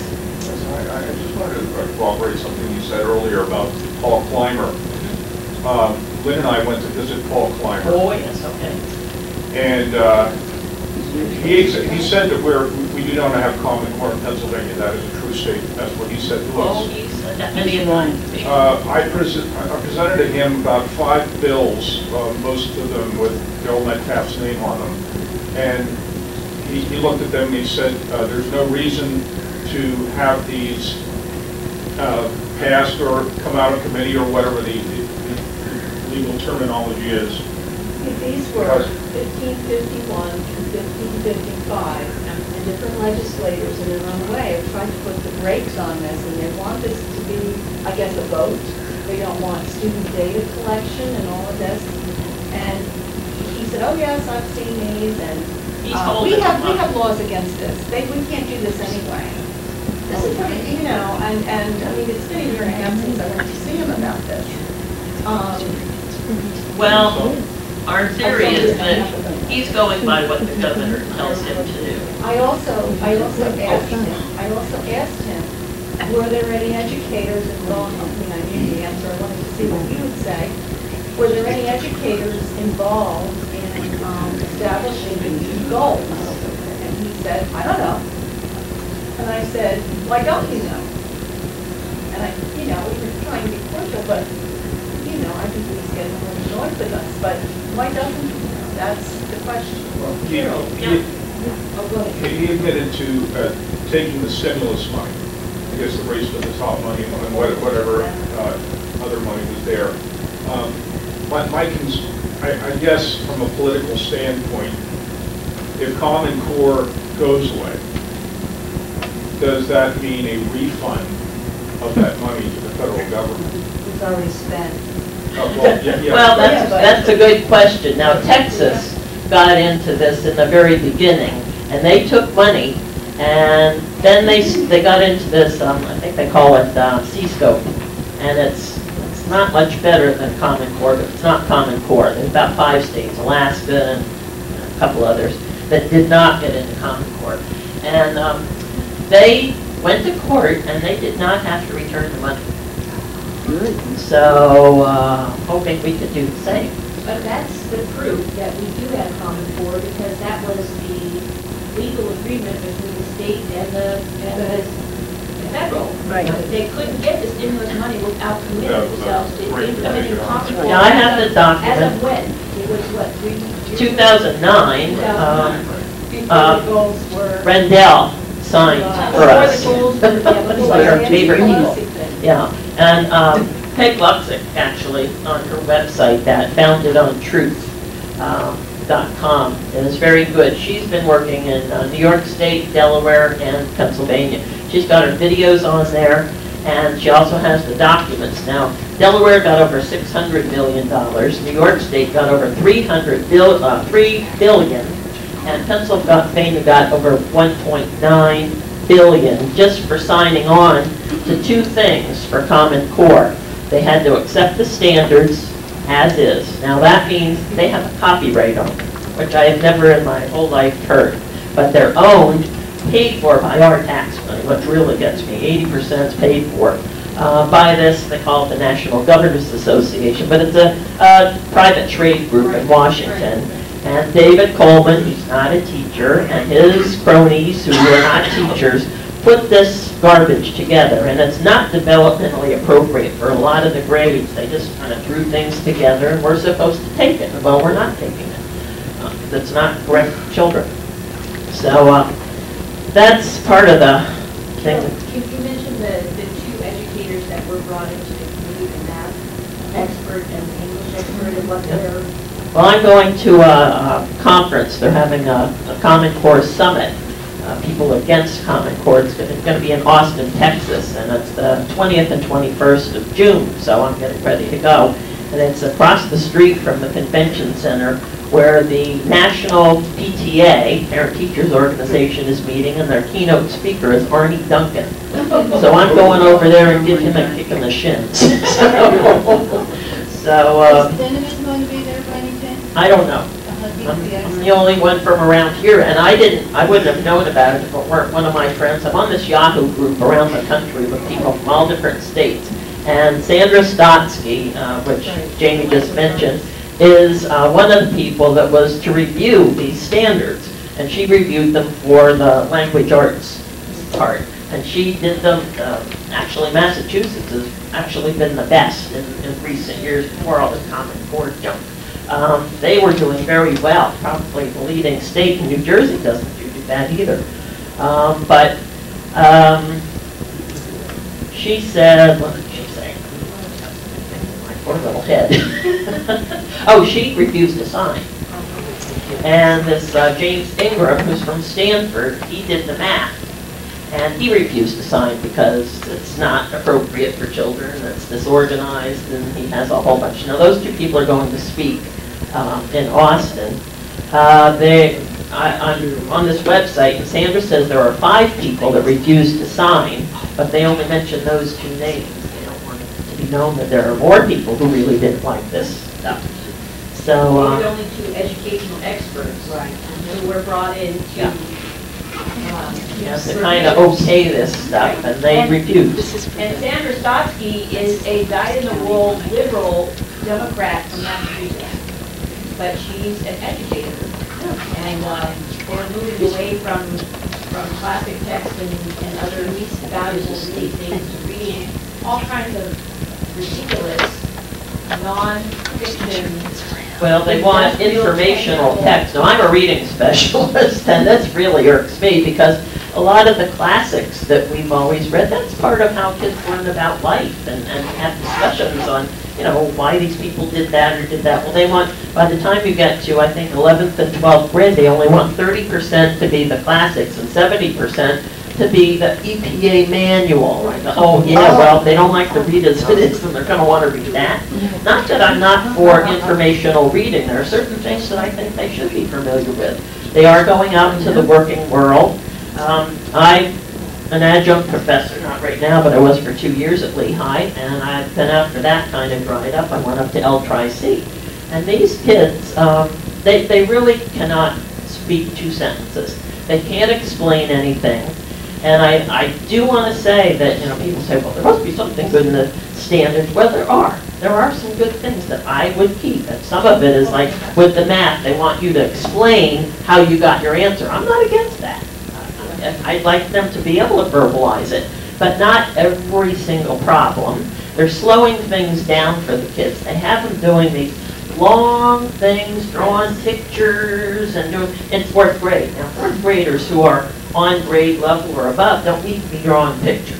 Little kids do, special ed kids do, maybe I do, certain things, because that's not my strong suit. But, um, you know, they're, they're just uh, playing games with this, and, and how we learn just to divide something and you get an answer. They want you to draw 18 little faces and 90 hash marks, you know, well, that takes time. But I think it is good to talk, and, because kids don't talk much, they're always on their machines. So, yeah. Did you hear within the last couple of days that Gates is supposedly quoted as saying that he's getting so much pushback and there's so much chaos with this testing that the testing should be delayed for two years. No, I haven't heard that. You didn't hear that? Nope. Hope you're right. Anybody else hear that? I read it. What, did you I'm really? sorry, would you repeat that? For the elections, yeah. Oh, well, yes, yeah. Yes, um, what's your name? John. John. John just mentioned that he read about Bill Gates saying that he's getting so much pushback on these tests, he thinks they should be held up for two years. Well, I think they should be held up forever. I want to go back, I mean, the easiest thing to do is go back to the standards that the states had. Pennsylvania had very good standards. And It should be local, and it should be, you know, just whatever your school districts. They they have all different needs. Yeah, and, uh, you know, the south is different from us, you know, hot down there, they're slower. Well, we're up here in the northeast, and that's all go, go, go with New York and business, and it, it's different, uh, all over the country, they have different needs. And, uh, but it's, uh, I think it's starting to heat up, but we do need parents, uh, to really start to, you know, talk about it and to come out. And I'm, I'm seeing that starting. And the other thing is in September, we want to have something across the country to remind parents that they can opt out their children from the testing. So we're trying to get that going, but yes. But uh, as a mother, right, I have three kids, and they're all out of school now, but each one of those kids learn differently. Absolutely. And they're individuals, and they each like and dislike different things. You cannot put kids in a program that's going to standardize them and make them be little Well, cookie cutter. You know where that came from? It's communism, Marxism, Yes, socialism, that's right. whatever you want to call it. And Exactly. to add a little scarier part to it, um, now Peg Luksik told me this, and oh boy, I, I go by what she says. I haven't been part of this, but she said that, you know, it's really, they're looking at the children's behaviors too. That's part of these data collection things, you know, whether they're itchy in their seat, or they got upset over this, and they're documenting all this stuff. Well, we all get upset at some point, you know, over something, but you don't want it following you your whole life. And uh, she had said that in third grade, they kind of look at what you're doing, and they, they document certain things, but by eighth grade, you will be given, not you, but the child will be given three choices of a job. Well, pretty much. And that maybe you get to be a garbage man, a waiter, or a landscaper person. And the parent can look at that, but it can't be changed. Now I thought, oh yeah, I want children to do what they aspire to. You know, even if the guidance counselor says, well, you're going to be an engineer because your math isn't good. And I've heard that so many times, and when kids want to do it, they will work to do it, and they'll do it. Mm-hmm. And yes, Well, we're fighting the fight.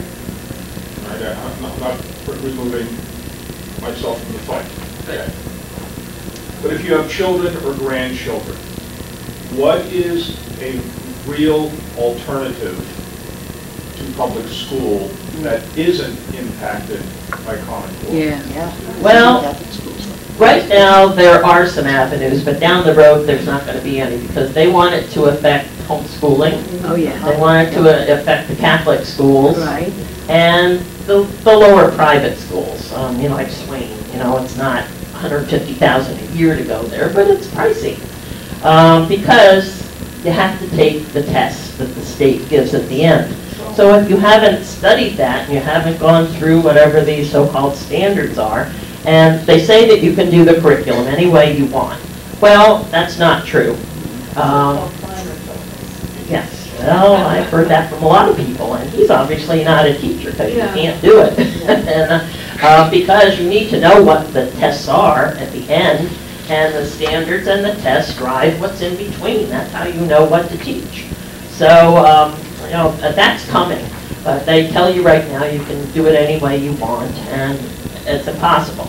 So they have it on the um, SAS aligned um, on the state website.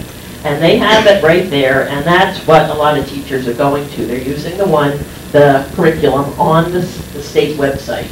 Because that, why spend the money and the time to redevelop something that you don't know what you're doing? I mean, it's awful. Yes. As you said in the beginning, this is a version of Obamacare. How Obamacare is tracking your medical visits and what you should have done is the enrollment. this, they are, they are tracking the child's progress from grade three, and they are stigmatizing that child to continue. Right, that's exactly We right. can't have that, we can't have that, and there is so much money behind this, it's almost like trying to turn the Titanic uh, 55 times, you know, and this is the monumental task, but that's why we need people to understand that, we need people to stand up, so, yeah. Lynn? Oh, well, um, for anybody that hasn't really looked, at- have been able to look at the standards and what they're doing in it, you know, that it's, they're the same everywhere. There were three copies of Duke Pesta's speech back there, if anybody wants them for their adult children, have grandchildren, they're back there, they're three fifty. And can we have a sign-up list in case those three go? Oh, I'll put a piece of paper out. Or order. Okay, Yeah, let's once do if it they order. go, yes, we can order Yeah. I mean, it's an, he- That was an excellent speech. He Yeah. had for over, it was like two hours and 10 minutes, and I didn't move. And I knew something about Common Core going in, you were there. Yeah. We didn't move at all, did we? Right. We No. just uh, on the edge of my seat the whole time. Excellent. Mm-hmm. I'm sending around a petition, I actually have it at- in a letter, excuse me, in a letter form, it's coming from the back over there. Oh. I'm sending around a petition concerning Common Core. Uh, I I made a few copies, I meant it to be as a letter, and people can take it if they want after the end of the meeting, if we have time, and recompose something to uh, Representative Clymer. He is the chair of the Education Committee. He will not bring these, these bills up uh, out of committee for, for a vote. He's a lame duck and he's not, Well, not he working. is, but this letter, all we can do is to keep nagging him. Uh, I I think, think name and address. For a petition, you should put your address as well as your name. okay. So it's to try, it's a little bit of a guilt trip for him at the end, uh, to get him to leave office and not leave this undone. Um, So you can read it briefly, you can take a copy, there's more copies back home if you want to give it to to somebody else, or compose your own letter to him. There's an excellent um, letter uh, by a friend of Carol's that we're going to have posted on the website. It's it's not the two-hour video, which is terrific, but it's a wonderful letter.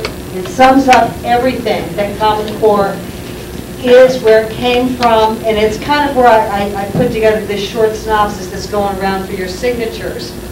Um, And it has wonderful documentation, and hope to have that on the website, so if, you know, it's seven pages, and she sent it to Governor Corbett, and it's wonderful.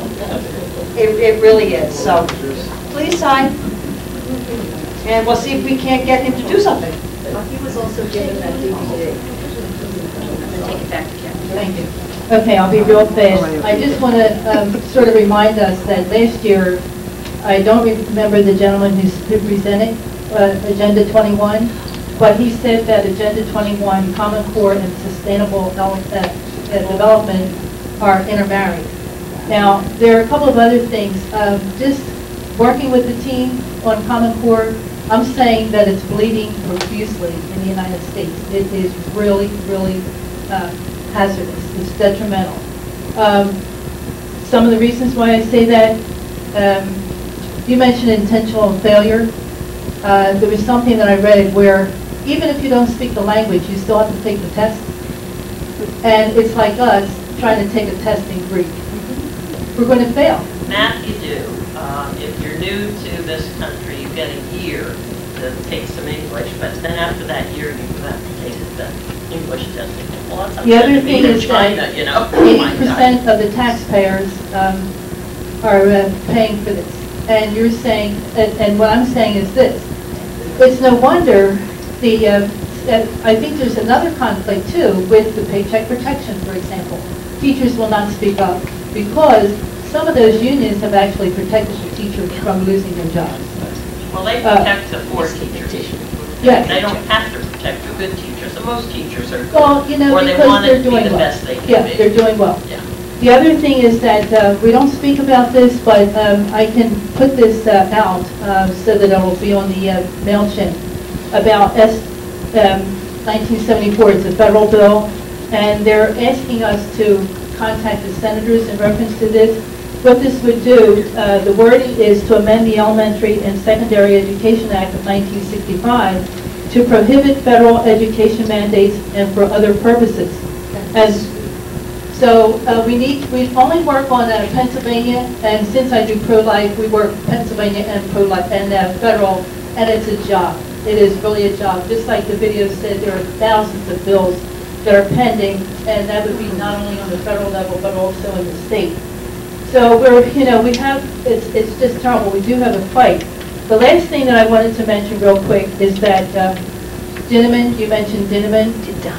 Uh, I have found out some things about him. He has this wonderful website, I think. He is a more of a people type of person. And he's a former But- professor, college professor. college professor, and so he knows, uh, he knows what's going on with Common Core.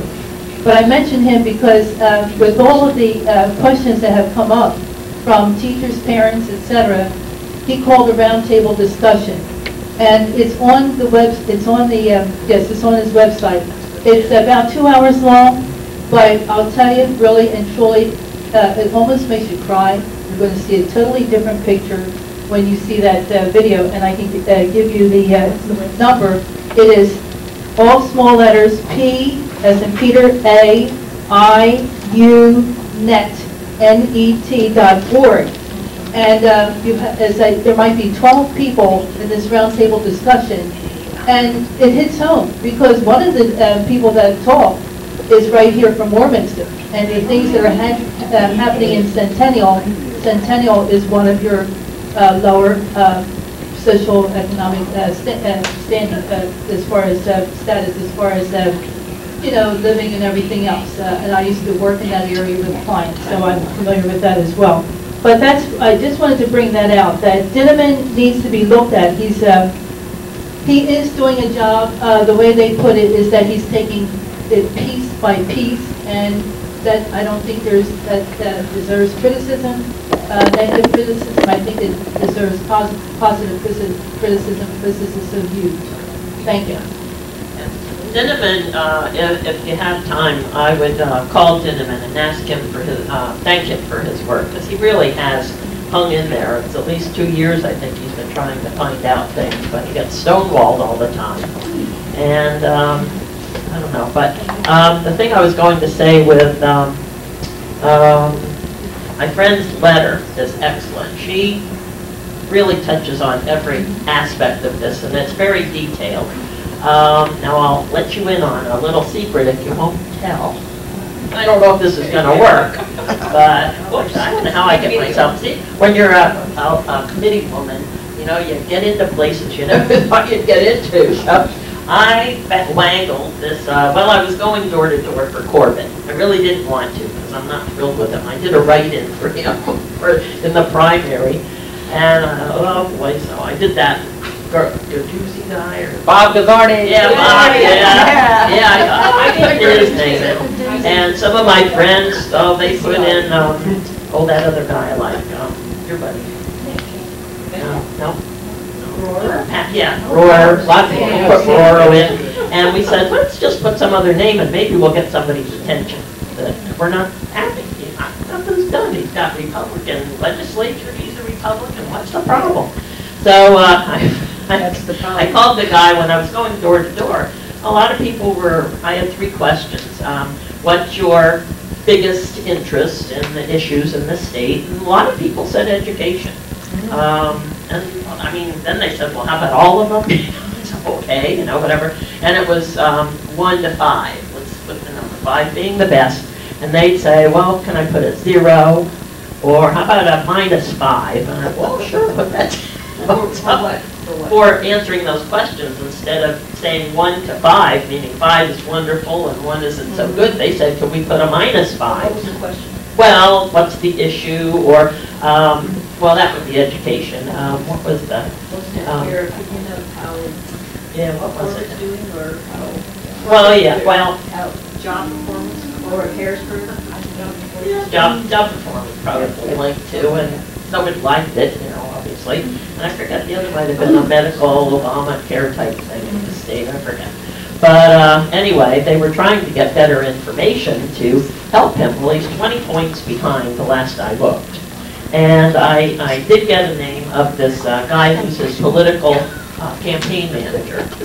So I called him about two weeks ago, and he did call me back, and he did talk quite a long time, nothing about Common Core. Oh. So I ended up, uh, I sent an email, we got Leadership for Liberty. Okay, while she's getting some water, um, Kathy, you had a question? Yeah, I, uh, oh, I don't need the microphone. I was just wondering, you know, what about kids that excel, like kids that have a very high IQ, who, who are now taking special classes and everything because they're so bright?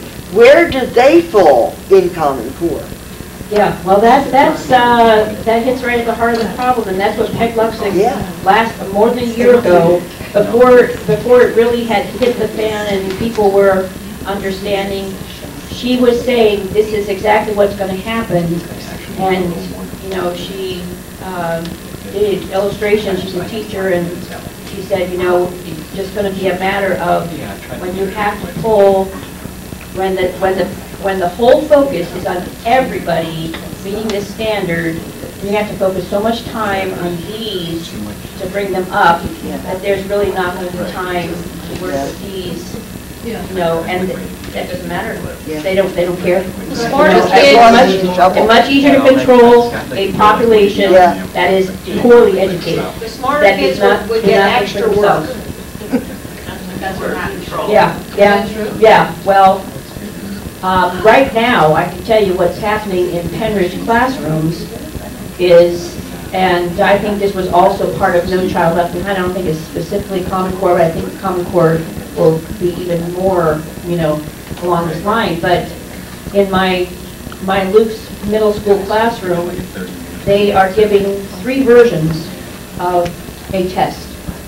You have the version that goes to the gifted kids, the bright kids, the middle kids, and the, the lower kids, okay? And then if they don't pass it, the teacher has to go through so many hoops, so much paperwork, group meet, group team meetings, consultations with parents, principals, everything like that. I had a veteran teacher say, I'm getting out of teaching. Because Wow. she said, it is such a headache that what we do is we make sure that child passes that test. They, they take tests, they can retest, they can, you know, I had my high school come back the other day and say, Mom, they're giving the same exact test for the retest. What's the point of that? Why should we study for the first one? We can take it the second time around, you know? I think it's, I think it's paper and pencil. It's ten to thirty dollars, the range, depending on the test, on your state. Well, this, I'm just, just talking about a, a curriculum test, oh. like an English test or a social studies test or something like that. Yeah, not a standardized. Well, we actually have another topic, I know we could go on and talk about Common Core for quite a while, but yes. Yeah, yeah, yeah. Well, we have, we have, um, since we don't have to be out of here on the crack of nine o'clock, um, I say we take a seventh inning stretch. Lynn has, Lynn has some very important uh, information on traditional marriage. Um, But, yeah, Carol just wanted you to know that there's a couple handouts here. This is if you don't have much background, the yellow one. The white one is the same on the front, but there's more information, uh, more detailed information on the back, and they're on the back right hand corner of that. Very good, thank you, thank you so much, Carol. Give her a round of applause. I apologize for the, uh, the lateness of, uh, you know, our schedule is a bit off, but I, I hope you all are um, energized to learn more about how we can save traditional marriage. If you'd like to stand up and stretch, please feel free to do so. If you're thirsty, we actually have water and lemonade out there, but we're going to get going with this right away so that we uh, don't keep you uh, much past 9 o'clock.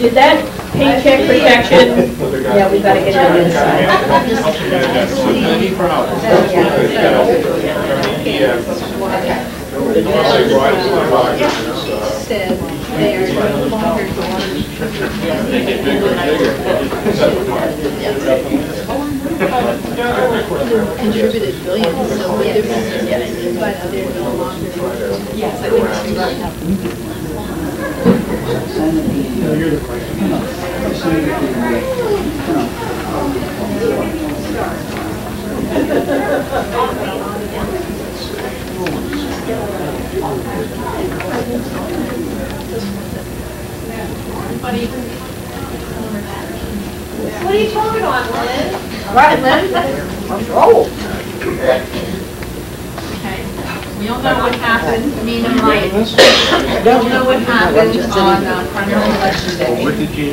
And my friend is sitting there. What happened? Yes, primary election day, what was the big announcement? I- Oh, my God. it was- No, primary election day. Oh, did you? That's a case that was decided by a federal court judge. I don't even know how they are. Oh, uh, same-sex marriage? Yeah. Oh, yeah. Oh. I don't, these are not whole. In this state, and that's what I'm talking about.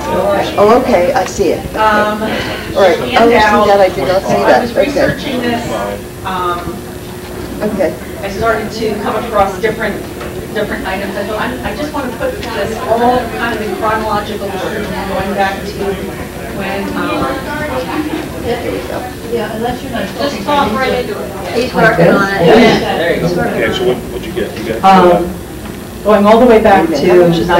96 CD. with the DOMA.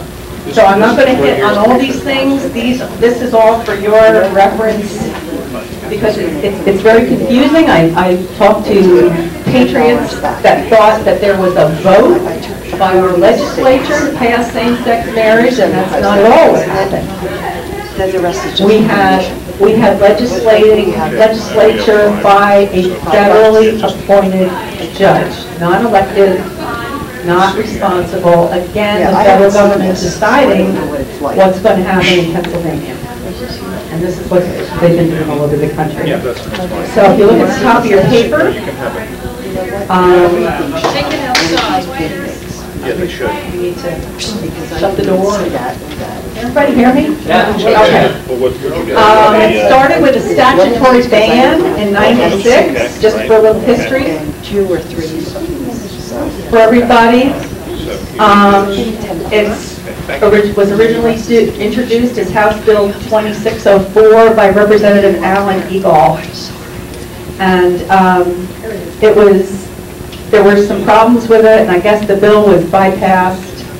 Um, It, uh, there was a bid for elections, that sort of thing. Um, And so the actual, and the actual DOMA was an amendment that was tacked on to another bill. That's my understanding. Okay, that's my understanding. Um, They debated over Egolf's amendment. It was an amendment to a bill that uh, was a Pennsylvania Domestic Relations Act for grandparents to adopt grandchildren over the objections of their parents. And this amendment that defined marriage as between one man and one woman was added on to that. Uh, The amendment was debated over and then finally passed, and you see what the margins are there. It wasn't, it didn't pass by a small margin, it passed by a resounding margin in both the House and Senate. 177 to 16 in the House, and uh, the Senate, it was 43 to 5. And then Governor Ridge passed it into law. So fast forward to 2010, and this is very important. Again, we're talking about Governor Corbett. While seeking election, Corbett reported to the Pennsylvania Family Institute that he opposed any legislation that would add sexual orientation or gender identity as a protected class in Pennsylvania law. And um, those of you who are familiar with Pennsylvania Family Institute's Voters Guides, does anybody have them in their churches, or Jerry, yeah, I do. Quite a few of us are. Um, They post the responses of the candidates. And um, he came up as opposing any sort of legislation. And a lot of us looked at those voters' guides and said, okay, we'll vote for Tom Corbett. Okay? Pro-life, pro-family, pro-marriage, among other, supposedly. Okay, fast forward to, um, I, and I I learned a lot by looking into this. Fast forward to uh, May of 2011. House Bill 1434 was introduced by Daryl Metcalfe in the House. He had 36 sponsors. Um, He has been trying to amend the state constitution to define marriage as being between one man and one woman. The earliest in- uh, incidents of this I could find was 2011. So he's been doing this for quite a while. Okay? Um, There was a delay on this vote, on this, voting on this bill. Uh, And I guess it stalled out or something. Um, And uh, the opponents of traditional marriage said, well, we won, okay? Um, That was in March of 2012. Fast forward to uh, May of 2013, Representative Metcalfe again introduces the same bill. So he's been standing for families and traditional values for quite a while. Okay? Uh, This latest lawsuit that we've had to deal with actually uh, was initiated back in July of last year, right? The 9th of July. And uh, just, just follow the chronology of this. This was all filed before Bruce Hanes, Montgomery County Register of Wills, just decided he would issue same-sex marriage licenses.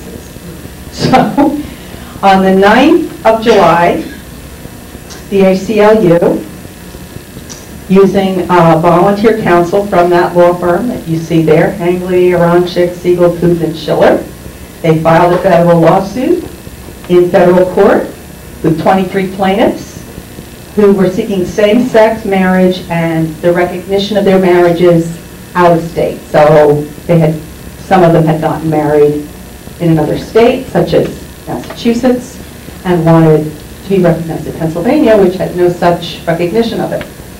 Okay, um, interestingly enough, uh, when when this was filed, all the parties agreed to have Governor Corbett's name removed from the lawsuit. So they put Wolf on there, and I believe Wolf is the Secretary of Public Health. Mhm. Is he a Democrat? Yes. Yeah, he's a Democrat. Okay. Yeah, right. So, Yeah. he was, he was listed as a uh, defendant, and also, I found it interesting that the Bucks County Register of Wills, Donald Donald Petrille, was also mentioned. And this was because uh, uh, same-sex couples had gone to Montgomery County and then had um, been, well, it started in Mon- Montgomery County with uh, Bruce Hanes. On the 24th of July, 2013. He just began to illegally issue marriage licenses to same-sex couples, and in a few weeks' time, he had issued over 160 of these licenses illegally. So at some point after that, people, uh, these individuals came to Bucks County, and uh, some of these people were applying up here. So it, this has been in the works for a very, very long time. And, um, and in between, on the 11th, Kathleen Kane, the Attorney General, said that she is not going to defend the DOMA. It's a statute, not an amendment. And she said, I believe it to be wholly unconstitutional. So, just kind of read this, uh, that these are the dates. Um, I'm sorry I didn't have time to supply you with an annotated uh, references. But, you know, this was taken from Wikipedia. See, I wrote down some of the things. Uh, Reuters, Wikipedia, Pennsylvania Family Council, American Family Association, and um, a website called Marriage Matters PA, which is actually a pro-gay, a pro-gay marriage site, but they provided an excellent chronological order for me. A lot of this I got from their site. It was very valuable. Um, Okay, so you see the chronology of this. Um, So now, all this damage has been done, and then we have, in August of 2013, House Bill 300 was sponsored, introduced into the um, State Government Committee. And uh, on the 12th, uh, Senate Bill 300, their, their companion bills, was introduced into the Pennsylvania State Government, uh, the Senate State Government Committee. And um, I didn't copy it, at- copy it for everybody because of its, it would just be uh, exhaustive to try to print it out. But Senate Bill 300 goes, uh, the the form that we have today goes back to an act uh, from October 27th, 1955, which addresses discrimination against certain groups. Okay, when it was written in 1955, they were talking about discriminating against people because of their gender, because of their race, uh, because of disability. It's kind of a civil rights sort of uh, bill.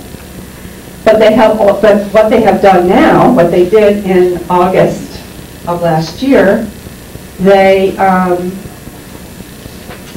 also inserted sexual orientation and gender identity or expression. Uh, And this, this relates to equal employment, housing, public accommodation. Um, Let's see. There's just a lot of different um, sections to this. So they define the term sexual orientation in this bill, means the term actual, the the term sexual orientation means actual or perceived heterosexuality, homosexuality, or bisexuality. The term gender identity or expression means actual or perceived, or perceived, gender identity, appearance, behavior, expression, or physical characteristics, whether or not associated with an individual's assigned sex at birth. So this was put in place um, in August. And then you see, toward the end of August, all these other lawsuits start to fall in line. You have Palladino versus Corbett. You can read about that there, a little history about it. Um, Then in uh, September, the Commonwealth Court of Pennsylvania heard the oral arguments regarding the Bruce Hanes case. Remember, there was a big uproar because he was illegally issuing these same-sex marriage licenses. And uh, so that, so oral arguments started on the 4th. On the 13th of September, the trial court rules that Hanes does not have authority to issue marriage licenses to same-sex couples. On the 25th, Balin versus Corbett was filed. Um, You can read about the description there. Um, These were the 21 same-sex couples who were issued marriage licenses by Montgomery County Clerk Bruce Hanes. So then they started the lawsuit. Um, And, uh, let's see, it it later was called Balin versus Wolf. So these, these seeds have been planted. This has been, I don't know, are, are are you tracking with me, seeing how these things have just kind of one after another after another? Okay. Oh, yeah. It's a plan. That's why when I started to look at this, I said, look at this, look at this. Yeah. Right. And here I was thinking, well, we have a Pennsylvania Defense of Marriage Act. We're fine. No, we're not fine because it's a statute. It's not an amendment to our Constitution. Okay, um, there was a mention to a settlement of an estate. You can read, I'm not going to go into detail about it. It's just more for your background and edification. Um, Has to do with uh, paying state tax and uh, to a same-sex, you know, a same-sex couple survivor, uh, uh, one of the partners passed away. But on 12, 18, 13, Governor Corbett announces support for sexual orientation policy, as in House Bill 300 and Senate Bill 300. He completely reversed himself, and uh, this was from a Pennsylvania Family Research Council communique. I mean, I got their emails, and they were very, very upset about it. They sent out a whole letter about it. So it all, it didn't take him very long to completely reverse his position. He's running for Okay. office. What's that? He's running for office. He- Well, yeah, okay. So personally, he's against it, but yet he wasn't going to do anything about Uh, it. Right, right. So, I mean, I just didn't know how much everybody knew about this, how, uh, the history. I mean, I, I actually, I actually learned some things doing this research. Um, Okay, fast, fast forward to May of this year, May 8th. Again, Daryl Metcalfe steps forward with House Bill 1349, and I have it here, it's very short, I- there are copies on the table. And uh, this would introduce a um, amendment to the Pennsylvania Constitution. Marriage is the legal union of only one man and one woman as husband and wife, and no other legal union that is treated as marriage or the substantial equivalent thereof shall be valid or recognized. Does that extend on HB 1434? I don't know. I mean, I, it sounds to me like he just keeps putting this forward. You know, um, they get, you don't think so, Sandy? Well, I don't think anything has been acted on for a long time. It's sitting. We can't. Oh, yeah, well, right, that was, right, thir- 1434 was the first bill. Yeah. Um, It's assigned a new number. New printer's number and all that for every session. Every year, yeah. Well, here, here are the co-sponsors for 1349. Uh, In addition to Metcalfe, Aument, Baker, Bloom, Causer, Clymer. We thanked Paul Clymer for that when we went in and talked to him about common. We thanked him for this. Cutler, Dellinger, Fee, Gillen, Harris, Heffley, Hess, Hickernell, Kauffman, Keller, Knowles, Kriegel, Krieger, Lawrence, Moul, Rapp, Roe, Rock, Saccone, Sonney, Stern, and Tallman. That's it. Those are the co-signers right now. Um, Okay, uh, and Simmons actually, huh? Oh, here. After my, after my printer ran out of ink last night, I hand copied the um, Pennsylvania State Government Committee. Okay, if you're interested in getting support for this bill, and this is going to be a huge battle,